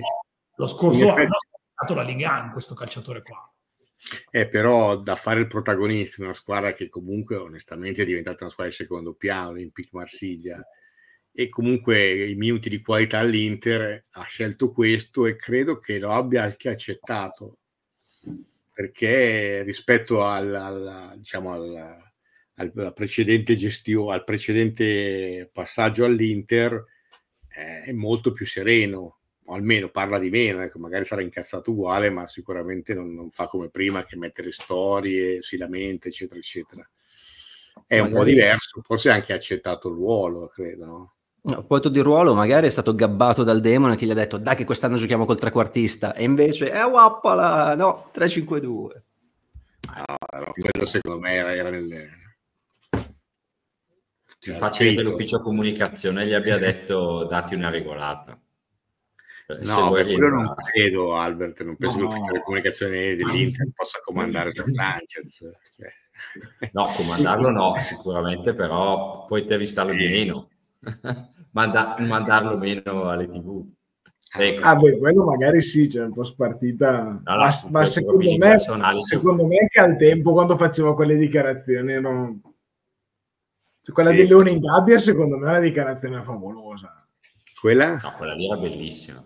Cioè, quella lì, cioè quella che ha fatto così tanto discutere di lui che vuole, che vuole spazio, che dice che è pronto. Cioè, secondo me sono dichiarazioni che hanno anche un impatto positivo, cioè non è che creano casino nello spogliatoio. Esatto. No, no, Però è un personaggio unico, cioè è un personaggio unico, ma da sempre, cioè anche comunque nel, nello spogliatoio del Barça, cioè che, che, Sanchez avesse degli atteggiamenti abbastanza originali, diciamo, eh, una cosa che si diceva anche lì e comunque condividevo lo spogliatoio con gente che cioè, te la raccomando. Oggi tra l'altro io ero proprio lì dove si scaldava il Nigno e quando lo chiamano tutti Nigno, Nigno, Nigno e quando l'hanno chiamato lui era il più sorpreso di tutti, cioè non si aspettava di entrare così presto, secondo me. Sì, sì. sì. Ma quando gli ha detto Nigno è fatto così proprio, io, cioè, così. Ma sei sicuro? No, no, non si aspettava la cosa. Non al 91esimo. Eh, esatto. Però tu pensa se hanno fatto, cioè la, la generazione del 2006 eh, dell'Italia, cioè, del Mondiale 2006, che ha segnato un'epoca e che cioè, si parlano molto di come trovano panchine o così, cioè, ma quella generazione del Cile, cioè, secondo me ci salta fuori a un certo punto un presidente. Ci sta, io tra l'altro io l'ho, l'ho accompagnato anche al Mondiale Under 20, tra l'altro mi ricordo in quella semifinale Argentina-Cile, in Canada, Toronto si gioca, e la partita forse la peggior partita della storia di Arturo Vidal, che perde due palloni, l'Argentina che è uno squadrone, il Kun, Di Maria, Sarate, eh, Gago, mh, mh, Maxi Morales, eh, eh, il Chiquito Romero in porta, uno squadrone, sono arrivati tutti ad altissimo livello, il Kun miglior giocatore e miglior marcatore del torneo, finisce la partita e c'è tensione per eh, insomma, eh, espulsione in campo, liti, eccetera, eccetera. Erano le due squadre nettamente più forti del torneo. Mentre vanno verso il pullman, eh, c'è un rallentamento perché insomma chiacchierano con qualche tifoso e loro non volevano fare incontrare due squadre, cioè volevano che l'Argentina, sali- l'Argentina salisse sul pullman e il Cile. Al- quindi succede che c'è un, prima era il Cile che doveva arrivare, il Cile rallenta un attimo e le guardie, quelle di, le guardie canadesi, come si chiamano? Quelle con la proprio vestite di rosso, quelle storiche canadesi, in, cominciano a, a spingere e lì comincia una rissa clamorosa tra i giocatori del Cile e, il, eh, e queste guardie, no? Come si chiamano le guardie quelle canadesi? Tommy, tu che sei uno... Quelle vestite di Mounties, rosso. Mounties. Vabbè, quelle lì. Mounties, guarda cavallo. Sì. Eh, c'è una rissa clamorosa, ma veramente incredibile. Tra l'altro, il più calmo di tutti è Gary Medel, che doveva essere il pitbull, invece era il più calmo di tutti e quindi c'era una rissa, c'è stata una rissa clamorosa. Io, tanto, feci un articolo per la stampa, uno dei pochi articoli che ho fatto per quel giornale, eh, bueno, chiede il buon Roberto Beccantini, ma la cosa incredibile è che di fianco a me c'era il giornalista nigeriano con la telecamerina che ha ripreso tutto e ha venduto al Toronto Star. Mentre io mi godevo la cosa, il vero giornalista cosa fa? È subito sul pezzo. E quindi io ero lì a gustarmi la cosa, invece, però quella fu una formazione, secondo me, clamorosa, di cui io ricordo i due più grandi giocatori in, quella, in quel momento, che erano Mattias Vidangossi, non so se te lo ricordi, Lori, sì, prima quattro. scelta del Villarreal di quella squadra, poi arrivò sì. nel Villarreal, lo spedirono indietro, e l'altro grande giocatore che era in quel momento un altro Vidal, cioè giocava in tutti i ruoli, era Mauricio Isla finito poi alla Juve, adesso tristemente all'Indipendiente, però è un giocatore che eh, pareva molto più forte di quello che poi cioè, mm. ha mostrato, che non ha mostrato poco, però rispetto a Vidal ovviamente no. Ecco, lì c'è poi tutta la diaspora, Vidal, Bayer Leverkusen, Alexis, eh, c'era l'Udinese, eccetera, era il più piccolo ovviamente, il Ligno, era un anno di meno, però è stata una, clamorosa, eh, clamoroso mondiale under 20 con due squadre fortissime e poi dopo quel è il nucleo lì è quello che è riuscito poi a portare insieme a, alla grande U Cile costruita da San Paoli la prima Coppa America al Cile. E lo stesso Vidagnossi, che tra l'altro gioca ancora in Cile, eh, gioca nel Curicó Unido, e eh, è un altro che in carriera ha fatto boh, 7-8 ruoli. Cioè, tutta quella generazione lì di calciatori ha un'intelligenza e una capacità di giocare ovunque clamorosa. Infatti, dopo Bielsa, eh, cioè, sono, cioè, si trova cioè, si trovano tutti quegli allenatori una vera, una vera generazione dorata che però poi dopo... Ma Lori, lui l'ha scelto per quel motivo il Cile anche perché sapeva che sarebbero venuti fuori, come ha scelto l'Uruguay adesso perché ha quel tipo di generazione. Eh, e vabbè, lui li, li, li accompagna, poi mh, mm, fanno il primo passo, poi dopo vince con San Paoli, no? Il, esatto. la Coppa America, però eh, è una grande pagina di storia sudamericana quella. Albe, ti lasciamo andare? Buonanotte sì, Albe. Mi è anche saltato una luce, non so cosa è successo, adesso vado a controllare. Vai a dormire come un perdente, vai. eh sì, ho, una, ho, un aereo domani. Ciao, Attenzione, per dove? No, no, era per prendere... Era una... Ah, così. Era una buttata così. Dai, io vado, vado, a lavorare alle 8. Ciao ragazzi. Grande buttata, questo mi fa più ridere. Ciao. Salve. Ah, ragazzi, ma del necromantico Sassuolo che riesce a far risorgere anche il Napoli, ne avete già parlato? Eh, ampiamente. Ampiamente. Mi sono già stufato del Sassuolo, io onestamente. È già due volte che parliamo giustamente del Sassuolo, però mi sembra che abbiamo commentato in lungo e in largo. Non abbiamo ancora sì. trovato l'allenatore giusto, però l'abbiamo commentato. Però su YouTube, in caso ve lo siete persi, c'è un bel approfondimento che abbiamo fatto insieme ad Ale Iori. Certo. E qui, solite cose del mi raccomando, canale YouTube, ragazzi. Il canale YouTube sta anche andando molto bene, cioè, sta crescendo con una bella costanza, i ragazzi stanno facendo un lavoro incredibile.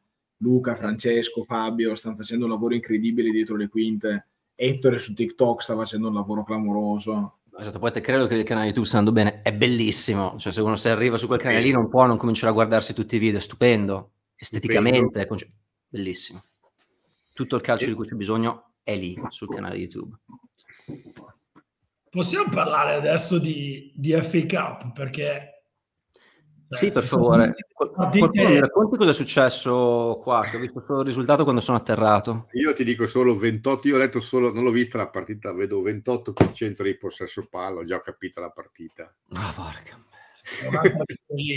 è un'altra partita di quelle lì. Io ho visto mezz'ora quando la partita dell'Inter è andata a scemare di interesse e, e ho visto le, le solite cose, diciamo, ecco.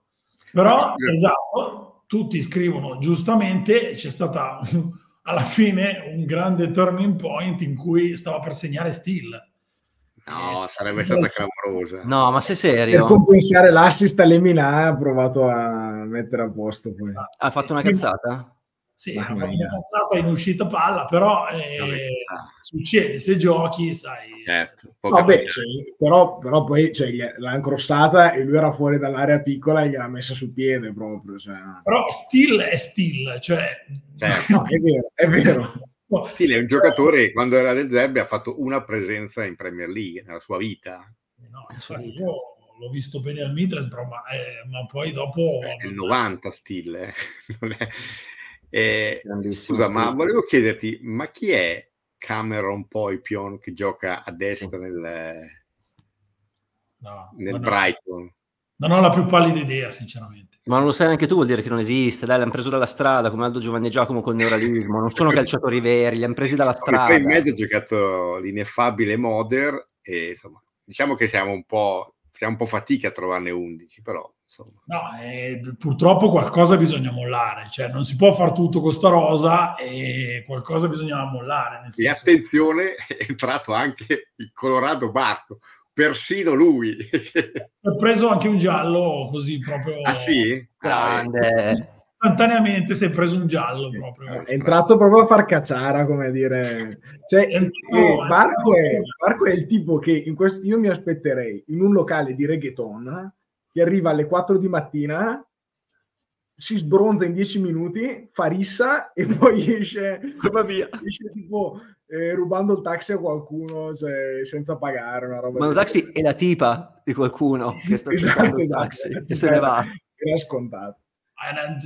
Quando ci sono dietro delle storie particolari, questi calciatori si portano poi tutto quello che hanno, no? E lui Comunque questa cosa qui secondo me gli, porta, gli porterà del bene questo carattere che ha, questa corazza, quindi io lo vedo bene, tra l'altro eh, ha fatto nel, nel, preolimpico, ha fatto vedere comunque di avere, di, che sta migliorando molto anche dal punto di vista tecnico, anche a fare delle cose che magari non, era, non è mai stato tanto bravo a fare, perché lui è un terzino più che ama portare il pallone piuttosto che fare un certo tipo di cross invece ha piazzato un paio di assist di, di, di grande pregio tecnico, quindi mi piace che lui sta lavorando su, su, di sé, come ha lavorato molto fisicamente, perché io l'ho visto in Argentina tre anni fa dal vivo e quando l'ho visto, la prima cosa che ho detto a quello che era con me è che c'era un problema con le gambe, perché aveva degli stuzzicadenti al posto delle gambe e poi l'ho visto quest'anno e ho visto veramente una parte, una parte inferiore importante, quindi è un calciatore che, sta, che si sta eh, comunque è in evoluzione, molto giovane, ma si vede, io vedo che migliora molto, quindi mi piace, mi piace questo, suo, questo suo aspetto. Poi chiaramente prenderà dei rossi in carriera, io penso proprio di sì. Ecco. No, è che ovviamente va in una squadra dove c'è, crisi di giocatori, tranne in un ruolo, il terzino sinistro. E, e, quindi dove c'è I, Stupignani, Igor, qualche volta ha giocato Lamte, anche se è piede invertito, cioè col piede, due di piede destro, e in mezzo al campo può giocare, ma non è Brighton. Cioè, nei due di metà campo non è, non è un gioco per lui in questo no, momento. Poi, prossimo, tranqui. Dai. Vabbè, l'anno prossimo. E quindi, insomma, a parte il, il, Brighton che è uscito quindi dalla FA Cup, va avanti, va avanti Wolverhampton, poi il, lo United mi sembra. Ma io, C'è stato il eh, Liverpool che ha vinto con... Uh, quindi vanno avanti Chelsea, Manchester United, eh, Liverpool e Wolverhampton. Wolverhampton. C'è una storia da raccontare e la racconto con piacere perché ha fatto doppietta Matteo Joseph del Leeds che è un calciatore che per me è molto interessante, anche se quest'anno eh, non ha, ha, un po' deluso, secondo me, le aspettative, perché questo ragazzo qui è nato a Santander, ha fatto tutte le giovanili delle Spagnol, poi il Leeds lo va a prendere, lo porta in Premier League, tra l'altro lui è il cugino di Emileschi e, e la madre è spagnola, mentre il padre è caribegno, quindi del Caraibi, no? E eh, di una colonia per cui lui può avere, eh, credo sia delle Bermuda, eh, e ha, ha, potuto prendere quindi anche la cittadinanza inglese. È un ragazzo che ha fatto benissimo nella Premier League 2 l'anno scorso, ma benissimo intendo con delle statistiche, delle statistiche pazzesche. Cioè ha fatto 15 gol in 20 partite in una squadra che faceva schifo, già faceva schifo la prima squadra, quella riserve eh, era, proprio, era proprio una pena lo scorso anno del Leeds. Lui ha fatto un, una grande stagione e poi quest'anno, quest'anno sta facendo fatica a giocare, quindi mi ha un po' deluso questo, però ha fatto due, ha fatto due gol importanti, quindi... Cioè, Beh, l'avevamo visto no, nel, anche al mondiale contro l'Italia, tra l'altro. Comunque ha fatto cioè, quell'Inghilterra era una buonissima squadra, no? avevamo segnalato 3-4 giocatori e sicuramente eh, è uscito, il Chelsea va avanti, però volevo, perché adesso siamo ai, ai quarti, giusto? No. Allora, sì. adesso siamo, sì, eh, no, o sì, 1, 2, 3, 4, 7, 8. Sì, siamo ai quarti, ci sono 8 squadre. Esatto. Sì. Ci sono il Coventry, il Leicester, il Manchester City, il Newcastle, il Chelsea, che ha battuto appunto 3 a 2. C'è Manchester City Liverpool. Ah no, deve ancora essere sorteggiato. Eh, il Wolverhampton, il Manchester United e il Liverpool. Queste sono le squadre, le otto squadre che ci sono. Beh, mica male però, eh. sono tutte sì, squadre sì, forti. Squadre importanti. E un super Coventry che ha steso il Maidstone, che è una bella storia di sta FA Cup, eh, che è una delle storie... Cioè, è bellissimo sempre, è una banalità da dire ogni volta, però è bellissimo quando arriva a queste squadre qui. Cioè, è quello che manca alla Coppa di Lega qua in Italia, tra le varie cose che mancano. Mancano anche gli spettatori, il prodotto è curato pochissimo, perché poi dopo vai a vedere una partita come quella di ieri sera, soprattutto di Luton, Manchester City e solo di quella partita lì ne possiamo parlare mezz'ora per delle cose che si sono viste clamorose, no? E adesso magari ne parliamo, non mezz'ora, ma siamo lì, no? Però eh, cioè, non si può non vedere la differenza di, di prodotto, cioè, ma anche quando giocano questi ragazzini qui, comunque lo spettacolo c'è sempre, cioè sono diverse le partite, a parte la cornice di pubblico che c'è, che eh, no, avevo ragione, c'è, c'è proprio, avevo visto bene, c'è Manchester United e Liverpool. Chelsea, Leicester, Wolves, Coventry, guarda che culo, e City, Newcastle. Wolves, Coventry. No, io ho visto una porzione di partita del Milan, eh, anzi vorrei dire la partita del Braga, perché il Braga è quello che teneva sostanzialmente quasi sempre il pallone e ho visto che poi finito i rigori, quindi il Milan va avanti in, uh, in Out League e tra l'altro c'è stata la sorpresa, così diciamo così, del, di ieri del, del, Mainz che ha fatto fuori il, il, Manchester City con un tifo clamoroso. In 20.000 tifosi a vedere una partita di Aufling, pazzesco. È incredibile. Cosa clamorosa, veramente. E oggi è passato l'Olympiakos, il Nantes ha battuto il Salisburgo, però il Bayern ha vinto col Fenor, che non è così scontato come sembra, e Real Madrid ha battuto l'Ipsia. Quindi arriva anche alle fasi interessanti il, eh, lo yacht. Sì, Milan ha fatto, non ha fatto una bella partita, cioè, no. ha sofferto tantissimo, un sacco di disattenzioni, sembra meno... Scu- cioè, il, un po' si sapeva, il passaggio in questi mesi di, di, alcuni calciatori che si sono allenati quasi sempre con la prima squadra non ha fatto soltanto perdere dei punti in classifica, ma ha fatto probabilmente ha bloccato anche un po' il percorso di questa squadra qua, perché all'inizio mi sembrava estremamente più brillante e, e sembrava proprio trasmettere una bella idea di calcio. Adesso sinceramente non la vedo più, cioè la partita di oggi è una partita pazza perché lo spettacolo sicuramente c'è stato, perché poi il Milan sbaglia anche un rigore e prende gol al 95esimo, però, però non mi, è, non mi, ha dato una grande impressione. Cioè, in questa squadra qua del Milan ci sono 3-4 giocatori che hanno fatto già tutto un cammino con la prima... Non hanno giocato tantissimo, ma si sono allenati per tanto con la prima squadra. Invece il Braga è una squadra in, a un altro stadio del suo percorso con qualche giocatore, qualche individualità interessante. Tra l'altro questo ragazzo che è entrato ha cambiato la partita che io non conoscevo totalmente, che ha fatto poi il gol del 2-2, ha fatto una, entrato ha cambiato totalmente l'inerzia della partita. È un ragazzo strano con delle movenze stranissime di gioco, ma veramente ha fatto benissimo. Però a parte Vasconcelos, diciamo che questa squadra qui non è che aveva dei giocatori molto conosciuti, no? eppure Milan ha fatto fatica. Cioè, credo che il portiere francese è stato il migliore in campo del Milan. Sì, anche il derby onestamente è stato poca roba, però il derby sono sempre un po' così.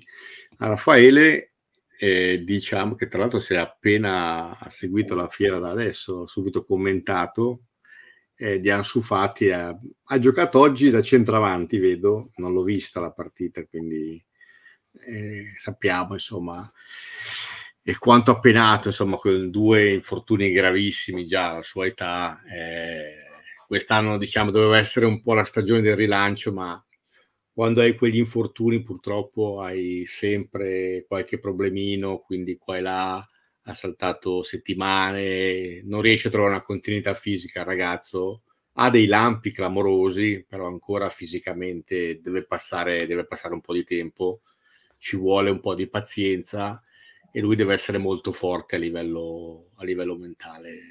È vero, Carlo, che deve essere il post Messi, anche il peso di quella maglia di cui si è parlato tante volte, ma volevo chiederti invece, da fuori traspare che comunque mentalmente sia abbastanza sul pezzo, tu lo vedi inserito, lo vedi anche molto sballottato da quel punto di vista, secondo te è più anche sconfitto mentalmente o ci sta lavorando duro?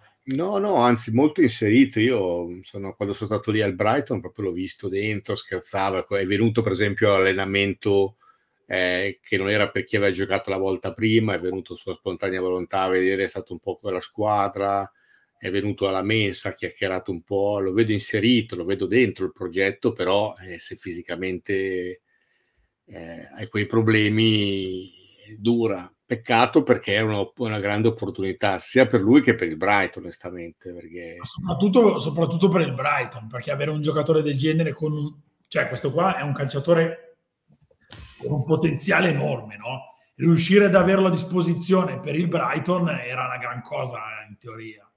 Peccato, eh sì. è un po' un rimpianto, ecco, per tutte e due. Sì, sì, è vero, è vero. Vero, però dentro è dentro, cioè mentalmente come col gruppo è proprio lo vedi che ripeto, già il fatto di venire all'allenamento, a vedere l'allenamento che insomma non era obbligato a venire, eppure ci è venuto ed è rimasto con la squadra tutto il tempo. È un bravo ragazzo proprio anche Asu.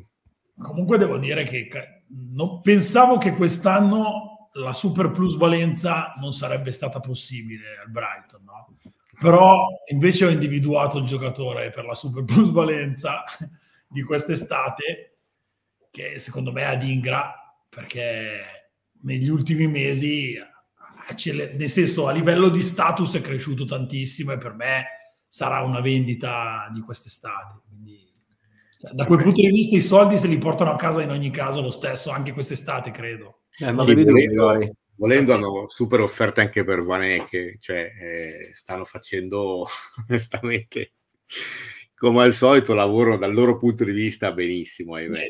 Eh, però eh, l'obiettivo è quello. la strada lì, quindi non gliene frega nulla, vanno su quella strada lì, va bene. Che si è fatto male Mitoma, perché sennò anche lui poteva essere in odore. No, no, ma anche lui vedrai che l'offerta arriva. Eh e ormai ha questo obiettivo di arrivare alle offerte vicino alla tripla cifra. Eh, sì. Eh, cosa che... Chiamalo scemo. Eh. Il grande tifoso... Una bella piramide se li porta nell'altra dimensione. ecco, eh, piuttosto che usarli per comprare giocatori. Ragazzi, ci sono due o tre persone che ci hanno scritto stasera di Gabi Milito a Sassuolo. Eh, c'è una voce. Ma, ma, chi, ma io non l'ho trovata da nessuna parte, cioè, né su Twitter né su internet, cioè, tipo il cugino di Carnevali ha scritto qualcuno, non lo so.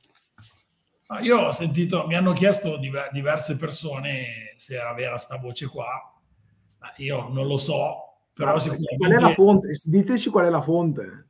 Sicuramente nel caso, beh, allora adesso non mi sembra il momento giusto, eh, però insomma, se da settembre il Sassuolo prende l'allenatore come Gabi Milito, diciamo che può iniziare a programmare eh, di nuovo perché è un allenatore super, super interessante e pronto per l'Europa.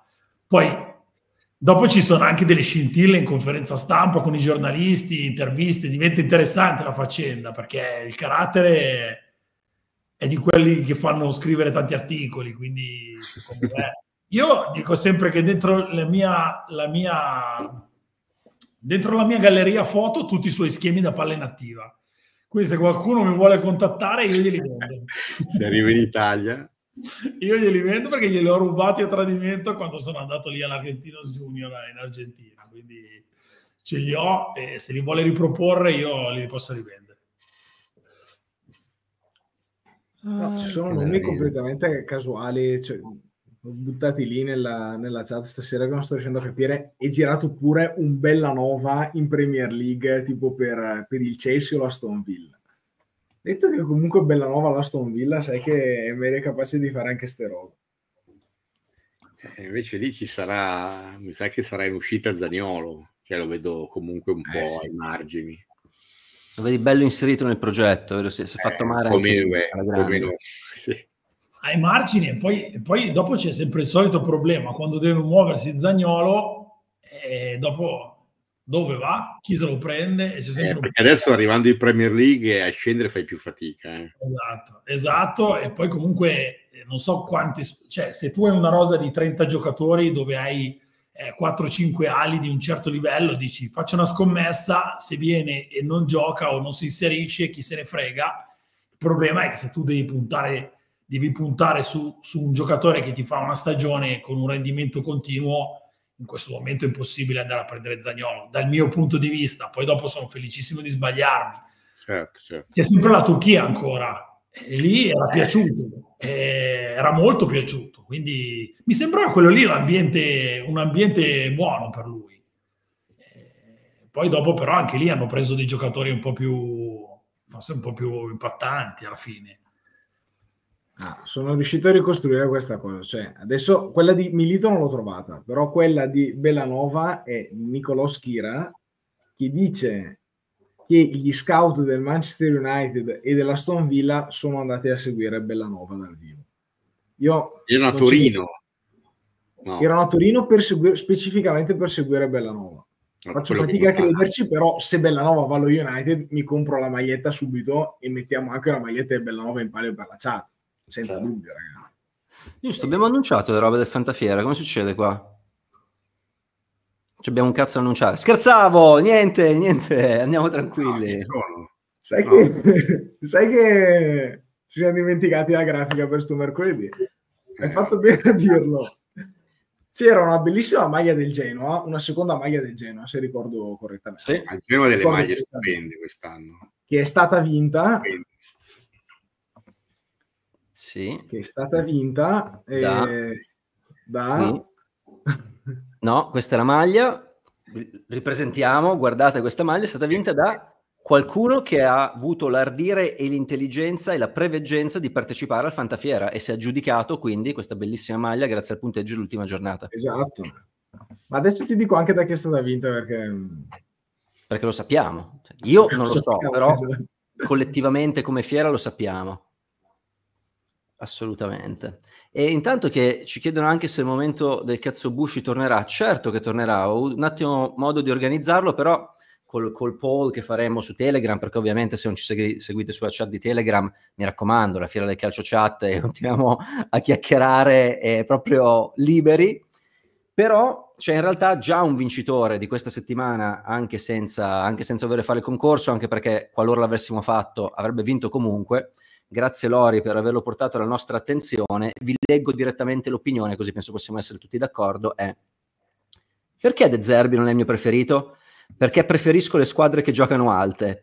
La costruzione dal basso prevede un approccio più difensivista. Per costruire bassi devi stare basso e ripartire con palleggio. Cos'è sta cosa? No, no, è uno che ha detto così. Non, l'ho, non, fatto, non, non, sono riuscito a seguirla io sta cosa. Possiamo oh, ripeterla. Hanno chiesto. Guarda che te la ripeto comunque non ha senso. Cioè non, non è che te la ripeti due o tre volte dici, ah, ah, ah, ah questa è una cosa presa da Twitter, vero? Da Twitter. È una roba su Twitter, un opinionista, tra l'altro molto seguito, del Milan, sul Milan, eh, alla domanda se De Zerbi potesse essere un allenatore giusto per il futuro, ha risposto così. Così così, dicendo che è un allenatore difensivista perché fa troppo possesso palla dal basso. Dal basso. E non gioca alto. No, non è Però un...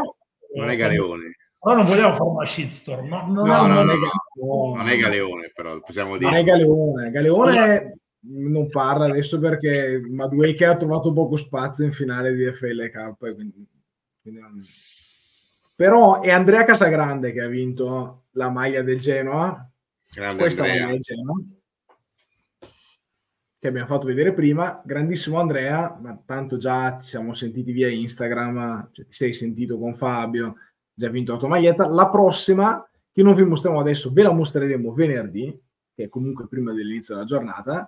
Che non ed è una maglia del... live anche venerdì. Quindi siamo in live anche venerdì alle 11.30 ed è una maglia della Fiorentina. Bello. Bella anche quella. La maglia fiorentina. Dopo, dopo questa K dovremmo averne una Nike. Eh, ho visto delle cose molto belle, eh? molto belle. Stai facendo business, uh, Davi? Eh, ho visto maglie, cose sì. molto belle che stanno per arrivare. Ok. Ci sta pensando il boss, allora le cose si muovono. Grandi ragazzi. Ma invece, ragazzi, ci sarebbe anche da fare, secondo me, un approfondimento sul grandissimo Javier Aguirre che porta il Mallorca in finale di Coppa del Re. A proposito di format riusciti di Coppa Nazionale, secondo me la Coppa del Re ci sta riuscendo più della Coppa Italia. Vabbè, ci vuole poco. e Javier Aguirre, infinito, che va a sfangarsela contro la Real Sociedad, elimina la Real Sociedad in semifinale e va a strapparsi il biglietto per la finale contro la vincente fra Atletico Bilbao e Atletico Madrid, semifinale che si gioca domani. Ma io, secondo me, grande, grande impresa del Mallorca. Tra l'altro è una squadra che sono molto legato perché ho abitato a Mallorca e son Moix sono andato sempre ho un paio di maglie del Mallorca, però con Aguirre è la squadra che gioca peggio di tutta la Liga. Cioè, è proprio stile, squadra... diciamo, un po'... È veramente, abbiamo detto un'altra... No, l'abbiamo detto un'altra volta, Alaves, eh, Mallorca e eh, Cadice sono proprio le squadre della Liga che sono proprio in controtendenza con, con la cultura sportiva. No, ma... Però alla Vesa rispetto alle altre due, secondo me, già... Eh no, ma anche il, perché il Cadice forse non può, non, non, cioè, invece questa è proprio una ricerca così. Il buon Vasco Aguirre è così, la sua, quello è il suo calcio e procede imperterrito, anzi secondo me col tempo è anche peggiorato come qualità di gioco, però vuoi l'anno scorso comunque c'era l'Icanjin no? dietro a, a Murici, sì. quindi insomma qualche, ogni tanto qualcosa di interessante veniva fuori. Quest'anno gli interpreti sono peggiorati molto perché per esempio ieri hanno giocato Larin e Abdon.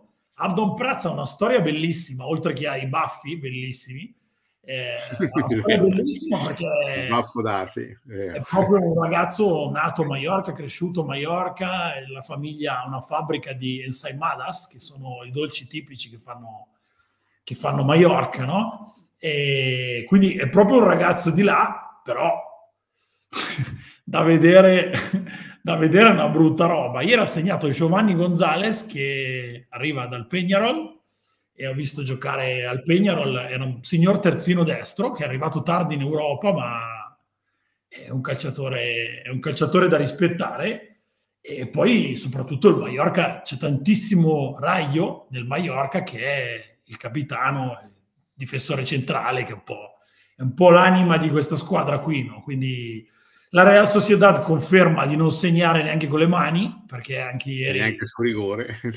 no, esatto, neanche su rigore, ma anche ieri, non so, veramente una fatica, una fatica incredibile. Io penso che debbano intervenire assolutamente, ma per il futuro, perché oltre poi ad aver preso gol da Sorlot questo weekend, che è proprio stato il rovescio della medaglia, proprio davvero, se non c'è il calcio piazzato eh, con l'inserimento di Merino o di uno dei due centrali e se non c'è se non c'è la giocata di magari di Cubo che si è un po' perso nella seconda parte della stagione o di Oyarzabal come ieri, no, una squadra che non segna mai, mai. Ieri poi Graif ha fatto una partita, insomma, le ha prese tutte, eh, però complimenti sicuramente al Mallorca. Farà la Cenerentola, vediamo la finale. È scomodo il Mallorca, eh. poi dopo... Poi sì, dopo... Sì, è brutto ma è scomodo. Parlate spagnolo, per favore, dateci soddisfazioni. Bellissimo, bellissimo questo amico peruviano. Hola Natel, síguenos sempre che te speramos acá, sempre. Vale. Bisognerebbe fare l'accento peruviano, però è un accento che a me non viene, mi spiace. Potevo fare no, quello, quello colombiano, l'argentino, eh, ma il colombiano, il, il, il peruano proprio non mi viene ho una bottiglia di cola inca a casa qua, che è una bevanda tipica peruviana, no?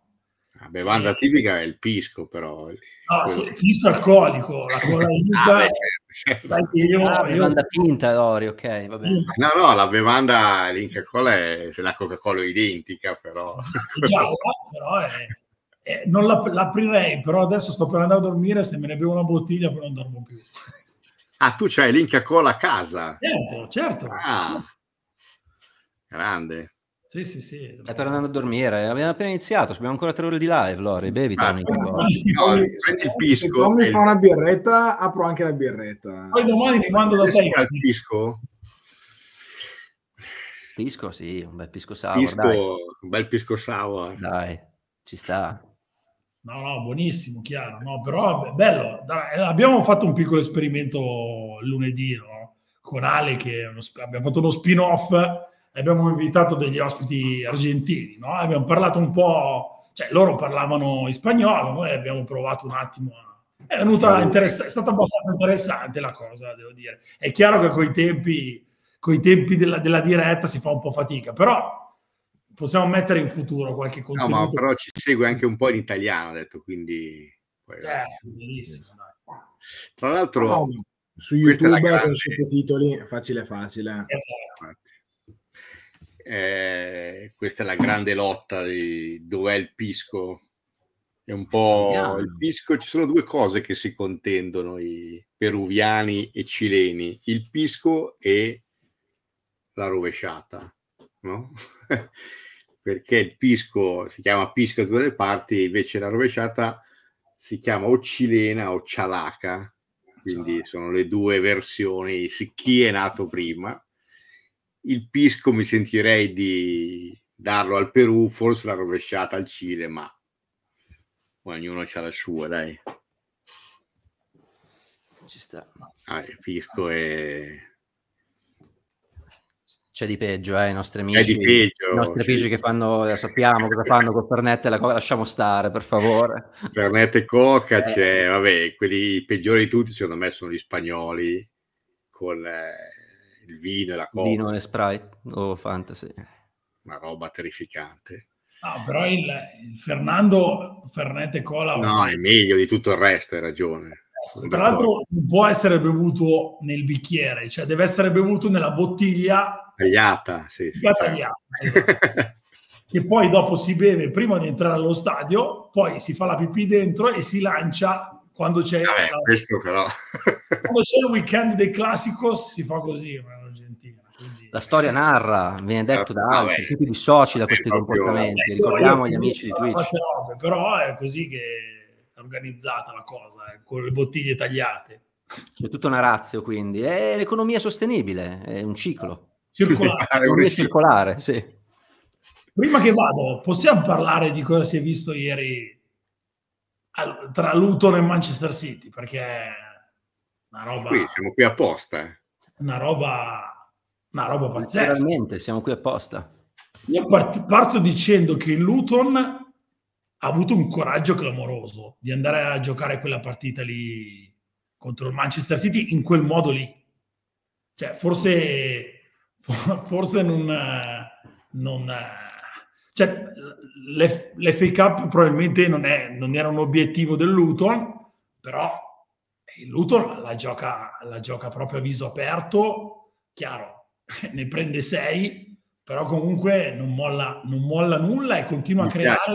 Che a me piace. Recupera palla altissimo e poi vabbè, vengono fuori due gol pazzeschi, uno pazzesco di Clark e secondo una palla veramente devastante di Barclay che per me l'ho scritto anche oggi eh, nella nostra chat. Mi è sempre piaciuto Barclay, cioè per me è sempre stata una sensazione di calciatore. Poi purtroppo si è fatto sempre abbastanza male ha avuto sempre dei problemi fisici. Quest'anno però sta, le sta giocando tutte e a un livello tecnico, cioè il livello tecnico non si è mai discusso, il fisico nemmeno non ci credevo tantissimo di vederlo giocare nei due di centrocampo, nei due centrali, perché è un giocatore un po' la Loftus Cheek, no? L'ho sempre visto un po', un po', così, no? Però invece nei due centrali sta, sta, sta performando alla grande in questo Luton qua. E poi dopo, dopo invece dall'altra parte, vabbè, si è visto il ben di Dio, diciamo, cioè, eh, si è vista una roba, una qualità clamorosa, ma non è che c'era bisogno di vederla, però, però una, una qualità importante, uscite. Poi questa squadra qui, cioè, si è detto per me un po' poco che a questa squadra qua, al Manchester City, mancavano De Bruyne e Stones. Cioè, eh, adesso sono tornati e sono al meglio perché Stones ha fatto una partita pazzesca ieri sera. Cioè, mi sembra tornato quello dell'anno scorso e si vede un'altra roba. Cioè, una squadra molto. Questi due calciatori qui mettono la squadra a sistema proprio. Ho visto questo. Cioè, prima mi è sembrato per gran parte dell'anno un collage di individualità al Manchester City, che poi di riffo di Raffa la portava sempre a casa. Bel gioco si è visto quasi sempre comunque, però non era tanto squadra, no? Invece, con il ritorno di questi due calciatori qui, per me siamo, siamo ritornati a vedere una corazzata proprio, eh. E infatti c'è poi la pretattica in vista Champions di Guardiola subito in, in intervista che fa elogi dell'Inter, delle, delle altre grandi d'Europa e quando fa così vuol dire che allora ci sta credendo di brutto a vincere, secondo me. Eh beh, sarebbe clamoroso, eh. Back to back della, della Champions è roba del Real Madrid, onestamente, altro esatto. che storia. Cioè. No, però De Bruyne è tornato. Ma voi come l'avete vista questa cosa? Scusa, salto di pari in frasca, ma anche a me ha colpito molto. Cioè, sembrava un film. Cioè, Mbappé all'Eliseo con Macron, con i vertici del Qatar. Ma che roba è, scusa? È un affare, è un, affare un film di spionaggio, sembrava. So, sembra poi... una roba in cui ci sono milioni e milioni che devono devono quadrare in qualche modo, eh. se non ti arrivano restando per i Saint Germain, comunque eh, le vacanze, cioè gli spot per le vacanze in Qatar li devi fare lo stesso. Ah, come quelli di Pirlo, Visit Qatar. Non so quanta gente è andata in Qatar con quel spot. Io comunque ci ritornerei a Doha, posto che ho lasciato gli amici, quindi... Quindi arriva... dicendo Visit Qatar. No, Esatto, noi, esatto, lo faremo noi lo spot di Visit Qatar, altro che Mbappé, o insieme a Mbappé potremmo farlo, palleggiare eh, lì nel centro di Doha, dove andavo a mangiare io, bellissimo. C'è anche, c'è anche, c'è anche una spiaggia bellissima eh, in Qatar che, che si chiama Banana Bay, che è una cosa molto artificiale ma è una figata pazzesca. Ma quale? Dov'è? Doha? No, fuori Doha. Eh. Ah. È fuori Doha, non tantissimo, però è fuori Doha. E, e... Non lo dice adesso, è stato lì un mese. No, ma in realtà sai che io sono andato dopo di te, no? Ah, Quindi okay. mi hai detto il ristorante e tutto. Però io sono andato dopo e è un posto veramente interessante. Però al netto di questa roba qui, questa, qua, questa cosa qui che si è vista di Mbappé mi sta un po', mi sta un po' stufando sta cosa qui. Sì. Eh, sì, un film di spionaggio, però francese, noioso. Sdegna un po' anche tutto il Paris Saint Germain e tutto quello che sta facendo comunque Luis Enrique in questa stagione qui. Cioè, questa, questa storia qua di Mbappé mi ha stufato, sinceramente. Io, io, se fossi il Paris Saint Germain non lo farei più giocare, dico la verità. Così no, da Roma. Vabbè, lo sto pagando anche. Cioè. Eh, cioè, ma, de, ma eh. come fai poi a non farlo più giocare? Cioè, dai, cioè, no, sarebbe fargli, fargli vincere la Champions. Eh, non lo so. Più però, magari era più per quello, Macron, Qatar, soldi, politiche, magari stava organizzando di far vincere la Champions. Eh, ah, ecco, Comunque la, la giustamente avevo perso questa cosa che in effetti Garek è andato al Cile. Sì, perché ah. lui ha fatto benissimo col Perù, ha fatto, ha fatto, Beh, molto. ha fatto i miracoli col Perù esatto. ed è andato al Cile, no?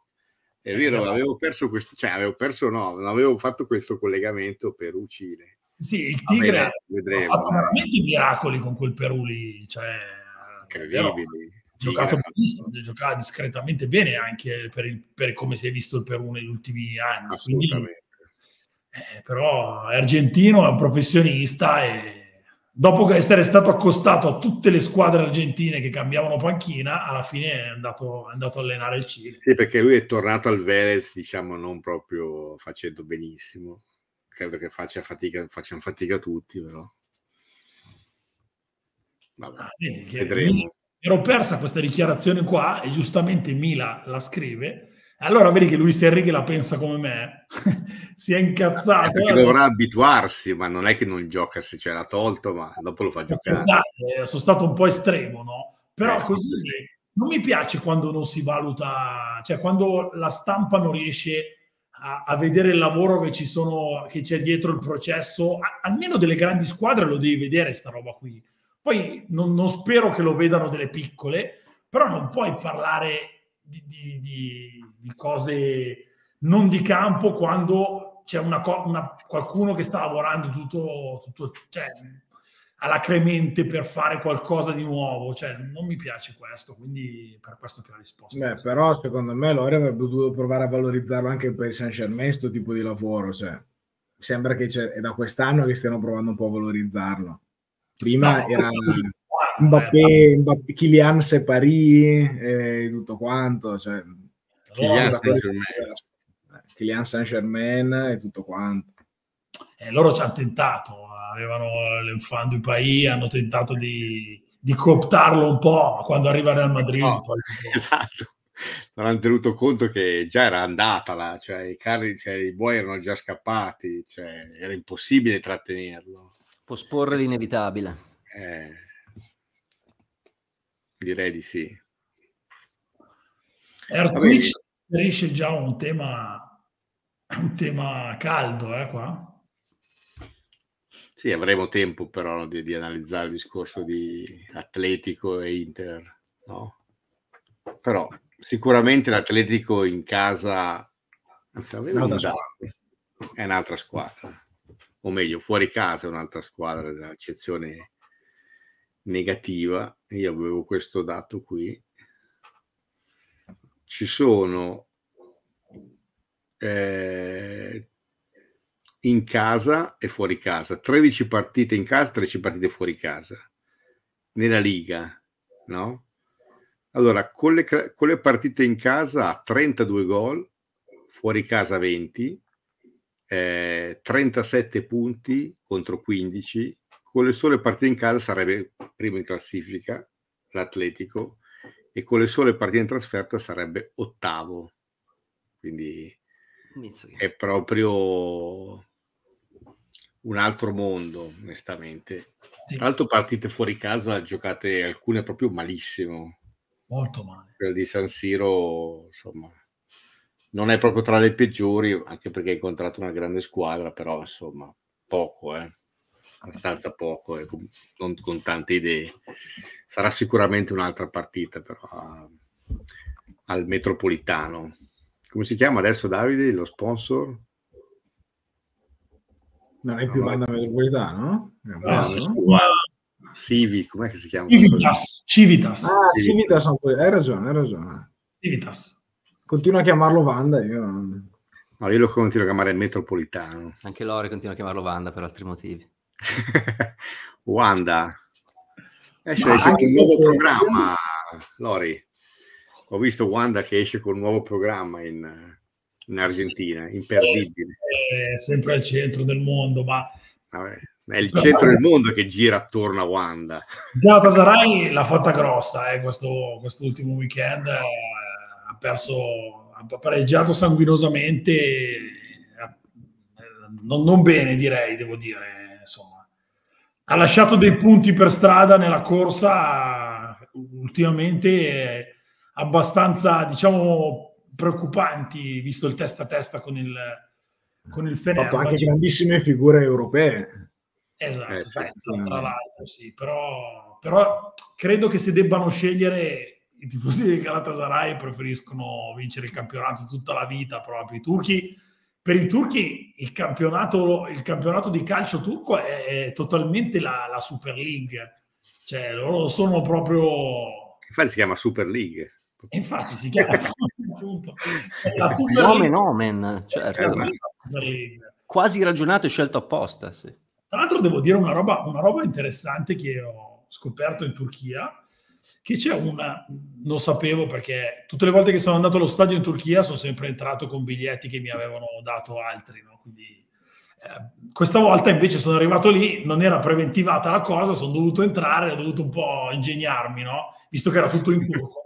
Praticamente c'è una tessera che si chiama Passo League, che tu praticamente ti registri, la fai, metti i tuoi documenti, poi puoi comprare tutti gli eventi sportivi. Nel senso, se vuoi andare, eh, puoi già prenotare i biglietti per mesi e mesi e puoi andare tranquillamente anche in trasferta a vedere, a vedere altre squadre. È una cosa molto interessante perché qua in, qua in Italia, cioè, se tu non hai il biglietto di quella partita lì, eh, perché te lo dà qualcuno e vuoi andare normalmente a comprarti il biglietto, non lo puoi fare molto prima, comunque sono tutte delle logiche un po' diverse e secondo me questa qui è una cosa, una cosa abbastanza, abbastanza interessante, una, una piccola parentesi. Beh, essendo in Italia ci sono delle logiche del cazzo busci, a proposito delle quali ci chiedevano anche di Pafundi, che se non erro è stato fatto un ottimo approfondimento dai ragazzi di Pianeta Serie B, spettacolari, con una nuova trasmissione che stanno facendo ogni lunedì alle 5, che è già anche uploadato su YouTube, mi confermate? Perché sì, sì, Luca, Ettore e Fabio Fra sono sì, dei draghi pronti via. Mister Sottile ha parlato con, con i ragazzi eh, anche del, dello scarso impiego no, che ha avuto durante la sua gestione all'Udinese. Ma io devo rivelare di Vincodino che oltre a subire le domande più difficili, cioè tipo il nome dello stadio dell'Atletico Madrid, io non sono mai andato a vedere l'Atletico Madrid dal vivo, ragazzi. Eh... Cioè, ho, avuto, ho, avuto, l'opportunità di andare eh, contro la Spalmas, l'ho dovuta rifiutare, tra l'altro, che partita vinta molto agevolmente, quella prima della Champions. E niente, vedrò se riuscirò a esserci per Atletico Inter, però uh. non sono mai stato in quello stadio, ne par- me ne hanno parlato molto così, ma non ci sono mai stato. Io per- cioè, vado solo o a Vallecas o al Bernabeu. E Getafe, e, Getafe e, e, e Atletico in casa mi mancano. Io sono andato a, a visitare il Vanda Metropolitano vuoto perché praticamente fornito alcune parti per, per l'allestimento, parti quando è stato costruito, no? E, e mi, ha, mi, ha, lasciato una, poi quando è finito, mi ha lasciato una bella impressione, devo dire la verità. Eh, mi è piaciuto molto, chiaro, non c'entra niente l'atmosfera del Bernabeu, cioè essendo nella stessa città del Bernabeu, e viene un po' sminuita la cosa, no? Però comunque mi, ha, mi, ha, incuriosito vederlo pieno per un grande evento e credo è uno stadio che, che, rende molto secondo me perché a parte che si vede molto bene, ma poi è stato costruito in un certo modo e secondo me è interessante. È interessante. Ma ti chiedono Davide se sei mai andato alla Bombonera. Eh, io sono andato è un'esperienza anche questa qui, è un'esperienza riuscire ad entrare. Poi dopo quando sei lì però è un'esperienza vera perché non tiembla, però late. Quindi è come un cuore, no? non, ti, non trema ma batte come un cuore, dicono. Ed è vero. Poi a me non piace il Boca però. Comunque ero lì, me lo facevo piacere. Ecco. Il Calderone era un'altra cosa. Io il Calderone l'ho visto. No Ma sai che eh, continua a dire sempre questa cosa? Cioè anche i tifosi dell'Atletico dicono, dicono spesso questa cosa. No, però tra l'altro quel mio amico tifoso dell'Atletico dice che eh, il vecchio metropolitano, cioè il metropolitano si chiama così perché il vecchio stadio del, del, dell'Atletico si chiama metropolitano, e quelli che andavano al Vicente Calderon, vecchi come il padre di questo mio amico, dicevano sì, però il metropolitano era un'altra cosa. E quindi adesso che dopo tanti anni al Vicente Calderone dice sì, però perché è vero, lui dice, perché gli stadi una volta sono più belli di quelli di adesso, punto e basta. Cioè, non è che Magari c'è... un po' Midnight in Paris, tutti anelano gli stadi che c'erano prima. Eh sì, perché erano ovviamente diversi, un'atmosfera questi di adesso e sono fatti con i criteri di quelli di adesso. Motivo in più per non fare gli stadi nuovi. Devo dire che ci stanno arrivando tantissime domande, però ragazzi, se volete la certezza che vi arrivi una risposta a queste domande, eh, c'è un modo molto semplice, Tommy. C'è un modo davvero qual semplicissimo. Qual è il modo? Qual è il modo? Tommy. Vai, vai, che David Zane è arrivata la metà malvagia di Davide, è quella turbo capitalista. No, è vero. Risposta, domanda con abbonamento uguale risposta. Esatto, c'è una stellina lì, subscribe, abbonati e avete già l'abbonamento, dite, ma no problem, basta regalarne uno alla chat, tanto noi prendiamo tutto e poi soprattutto dobbiamo cominciare a finanziare questo viaggio a Roma, che c'è una certa partita che sta arrivando e tra l'altro ho guardato il uh, calendario, uh, arrivando. settimana prossima? Settimana prossima 7? no, no, se è il 29 questa. Eh, settimana prossima è il 7. Settimana prossima eh, dici sì, Roma-Brighton, eh? Eh sì. Eh sì, settimana prossima. Eh sì, bisogna Vabbè, finanziare questi biglietti del treno, ragazzi. Non si compra, cioè, oddio, posso anche salire poi. eh. Però sì. eh, idealmente avessimo un biglietto sarebbe meglio. Quindi servono gli abbonamenti che garantiscono anche risposte. Meglio sì, giovedì con, que- con, questa cosa dei biglietti del treno, giovedì eh, spingiamo di brutto, eh, in live. Eh sì. Ma anche io... perché oltre a Tommy magari troviamo anche quelli per Fabio, perché io di come si farà Tommy le riprese non mi fido tantissimo. Cioè, veramente okay. pochissima fiducia. Zero fiducia. Sono scioccato da questo. Almeno aspetta che faccia un lavoro di merda e dopo hai ragione. No, no, siccome non possiamo rifare a Roma Brighton, quindi bisogna. Roby, potete rigiocarla? Mi è venuto male il video. Sì. No, io prima di andare a letto dico che Diagnostic Vai veramente è un grande, ha iniziato qua, ci sta cercando di vendere qualcosa, quindi... Vabbè, ma è un bot. Se vuole sponsorizzarci, eh, almeno vi compra sti biglietti per il treno, no? e, però prima di, prima di, andare a letto, volentieri dico una roba di, di Kilixoi che mi chiedeva Spisidda, che è stata probabilmente una delle cose più belle che ho visto in, questa, in questi quattro giorni a Istanbul in cui sono stato Scusate, e... guardate, guardate, la nostra chat meravigliosa che sta facendo le domande al bot. Bellissimo. No, eh, parlando di Kirixoi, devo dire che nel Besiktas mi ha abbastanza impressionato perché è un calciatore con un fisico particolare perché è basso e, e molto compatto, però veramente non è stato mai anticipato da nessuno e giocava contro difensori di un certo spessore fisico e poi soprattutto quando aveva la palla è difficilissimo portargliela via. E grande convinzione, ha fatto nove gol in, in, Super League, uno me l'ha fatto vedere anche quando ero allo stadio, di testa tra l'altro, che per un giocatore sotto gli 1,80 abbondantemente eh, non è facilissimo, ha avuto un grande tempismo e veramente la generazione del 2005 della Turchia è una generazione che, che fa pensare molto perché alcuni sono calciatori turchi, mentre altri sono calciatori turchi che però sono, vengono fuori da, dall'Europa, che però hanno scelto di giocare per la Turchia.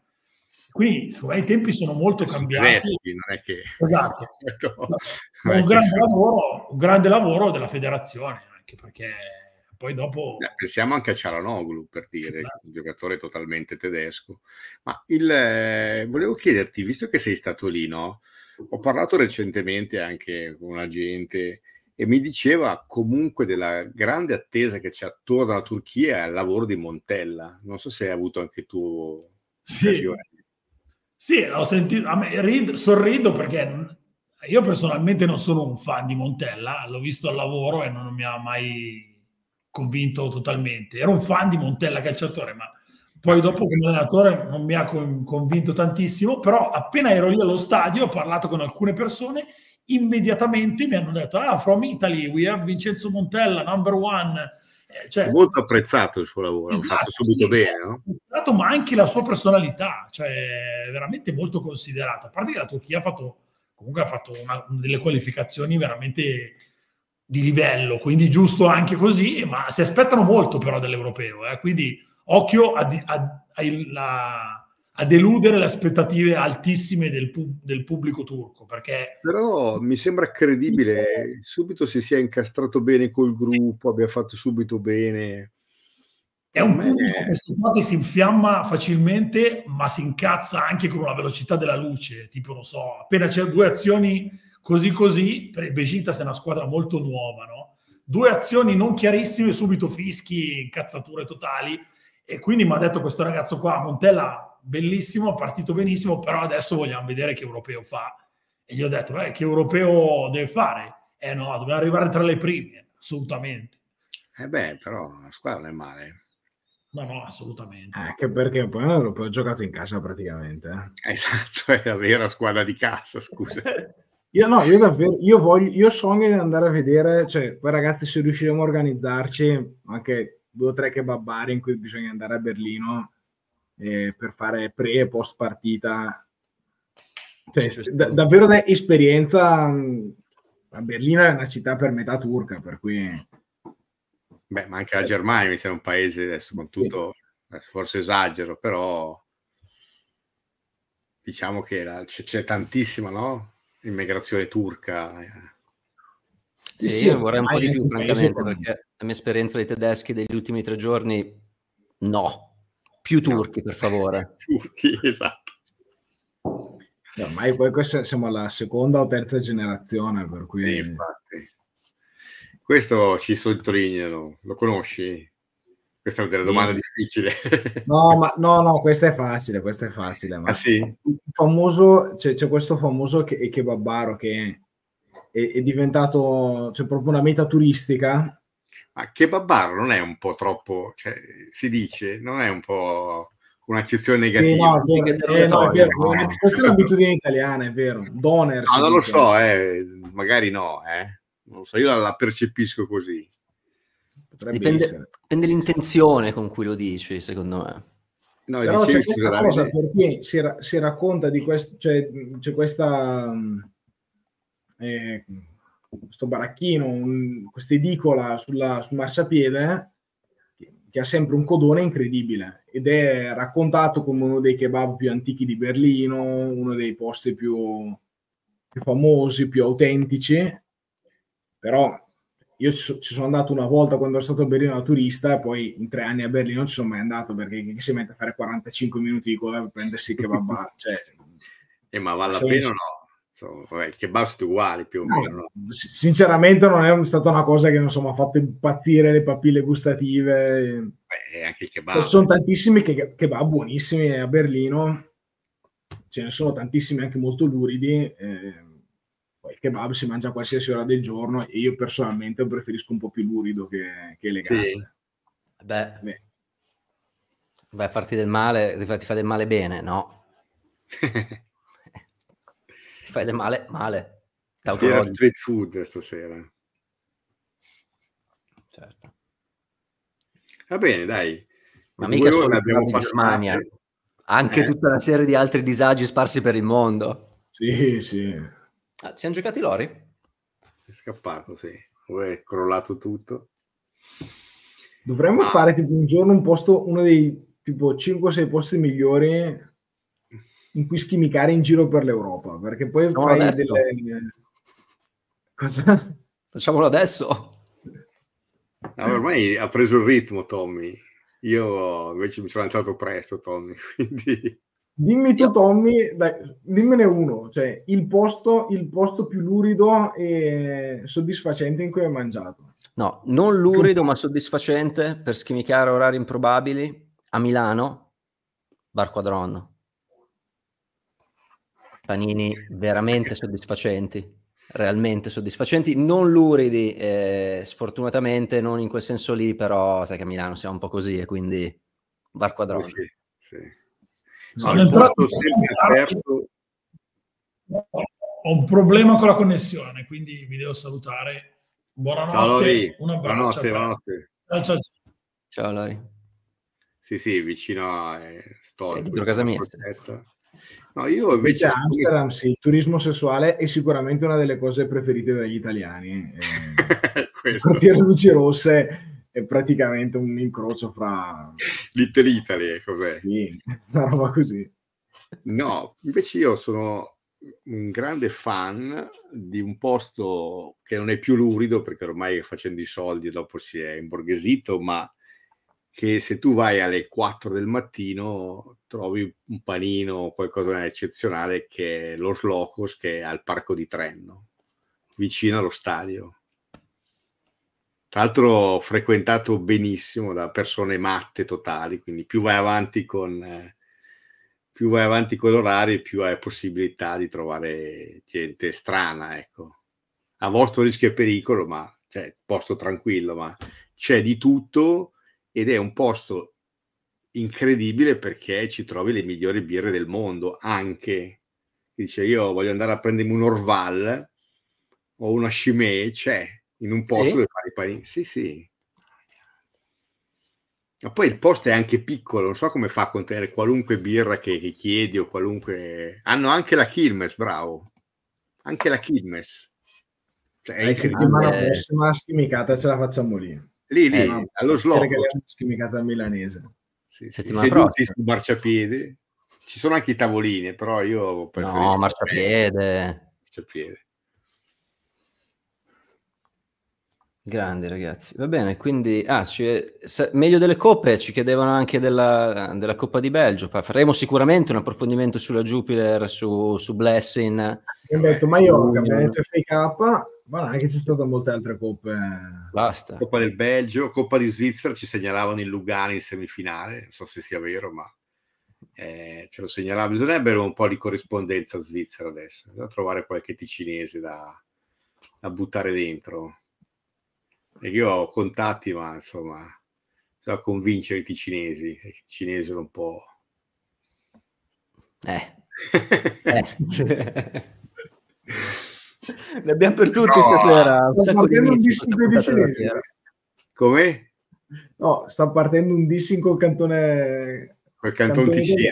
No. Il Ticino è un posto meraviglioso, irripetibile, secondo me. Infatti evitiamo volentieri di parlarne di nuovo proprio per non ripeterlo.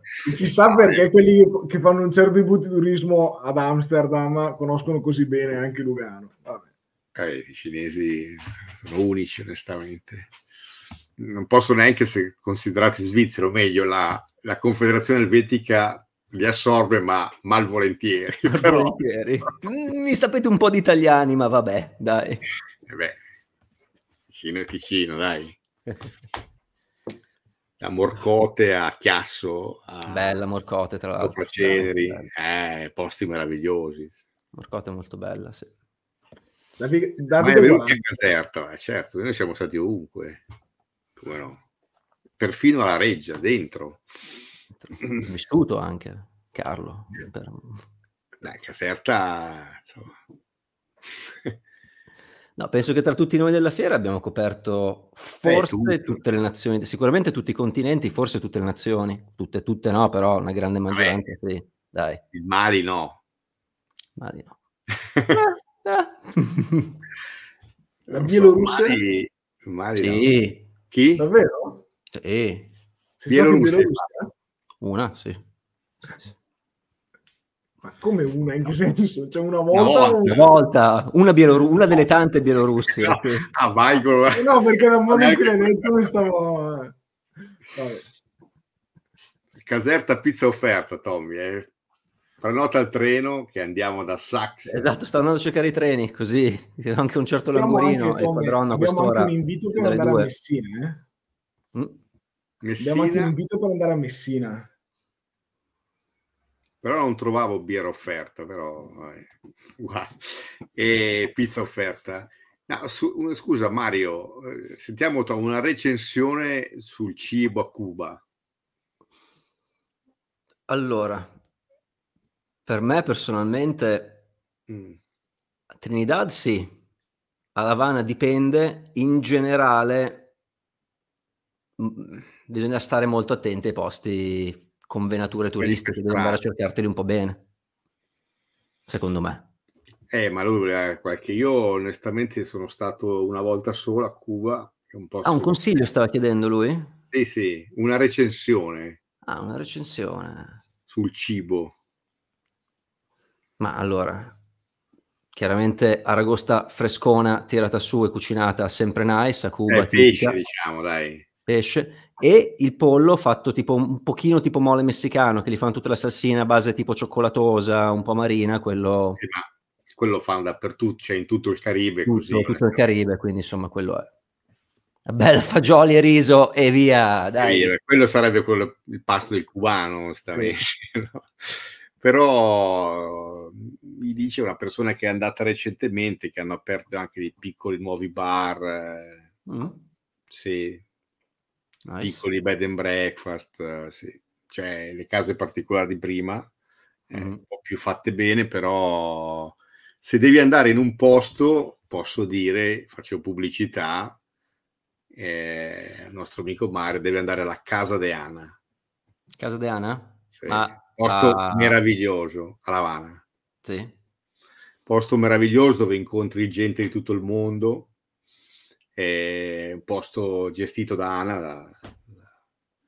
Secondo me il marito che, che aiuta a gestire è stato un grosso membro del Partito Comunista Cubano all'epoca e adesso si è riadattato a fare, però sa tutto di Cuba e ti, ti, ti indica qualunque cosa vedere a Cuba, ti organizza lui tutto e paghi pochissimo. Quindi Bellissimo. casa Ragazzi, case bellissime dentro, Stupende. una meraviglia, sì. una meraviglia, devastanti.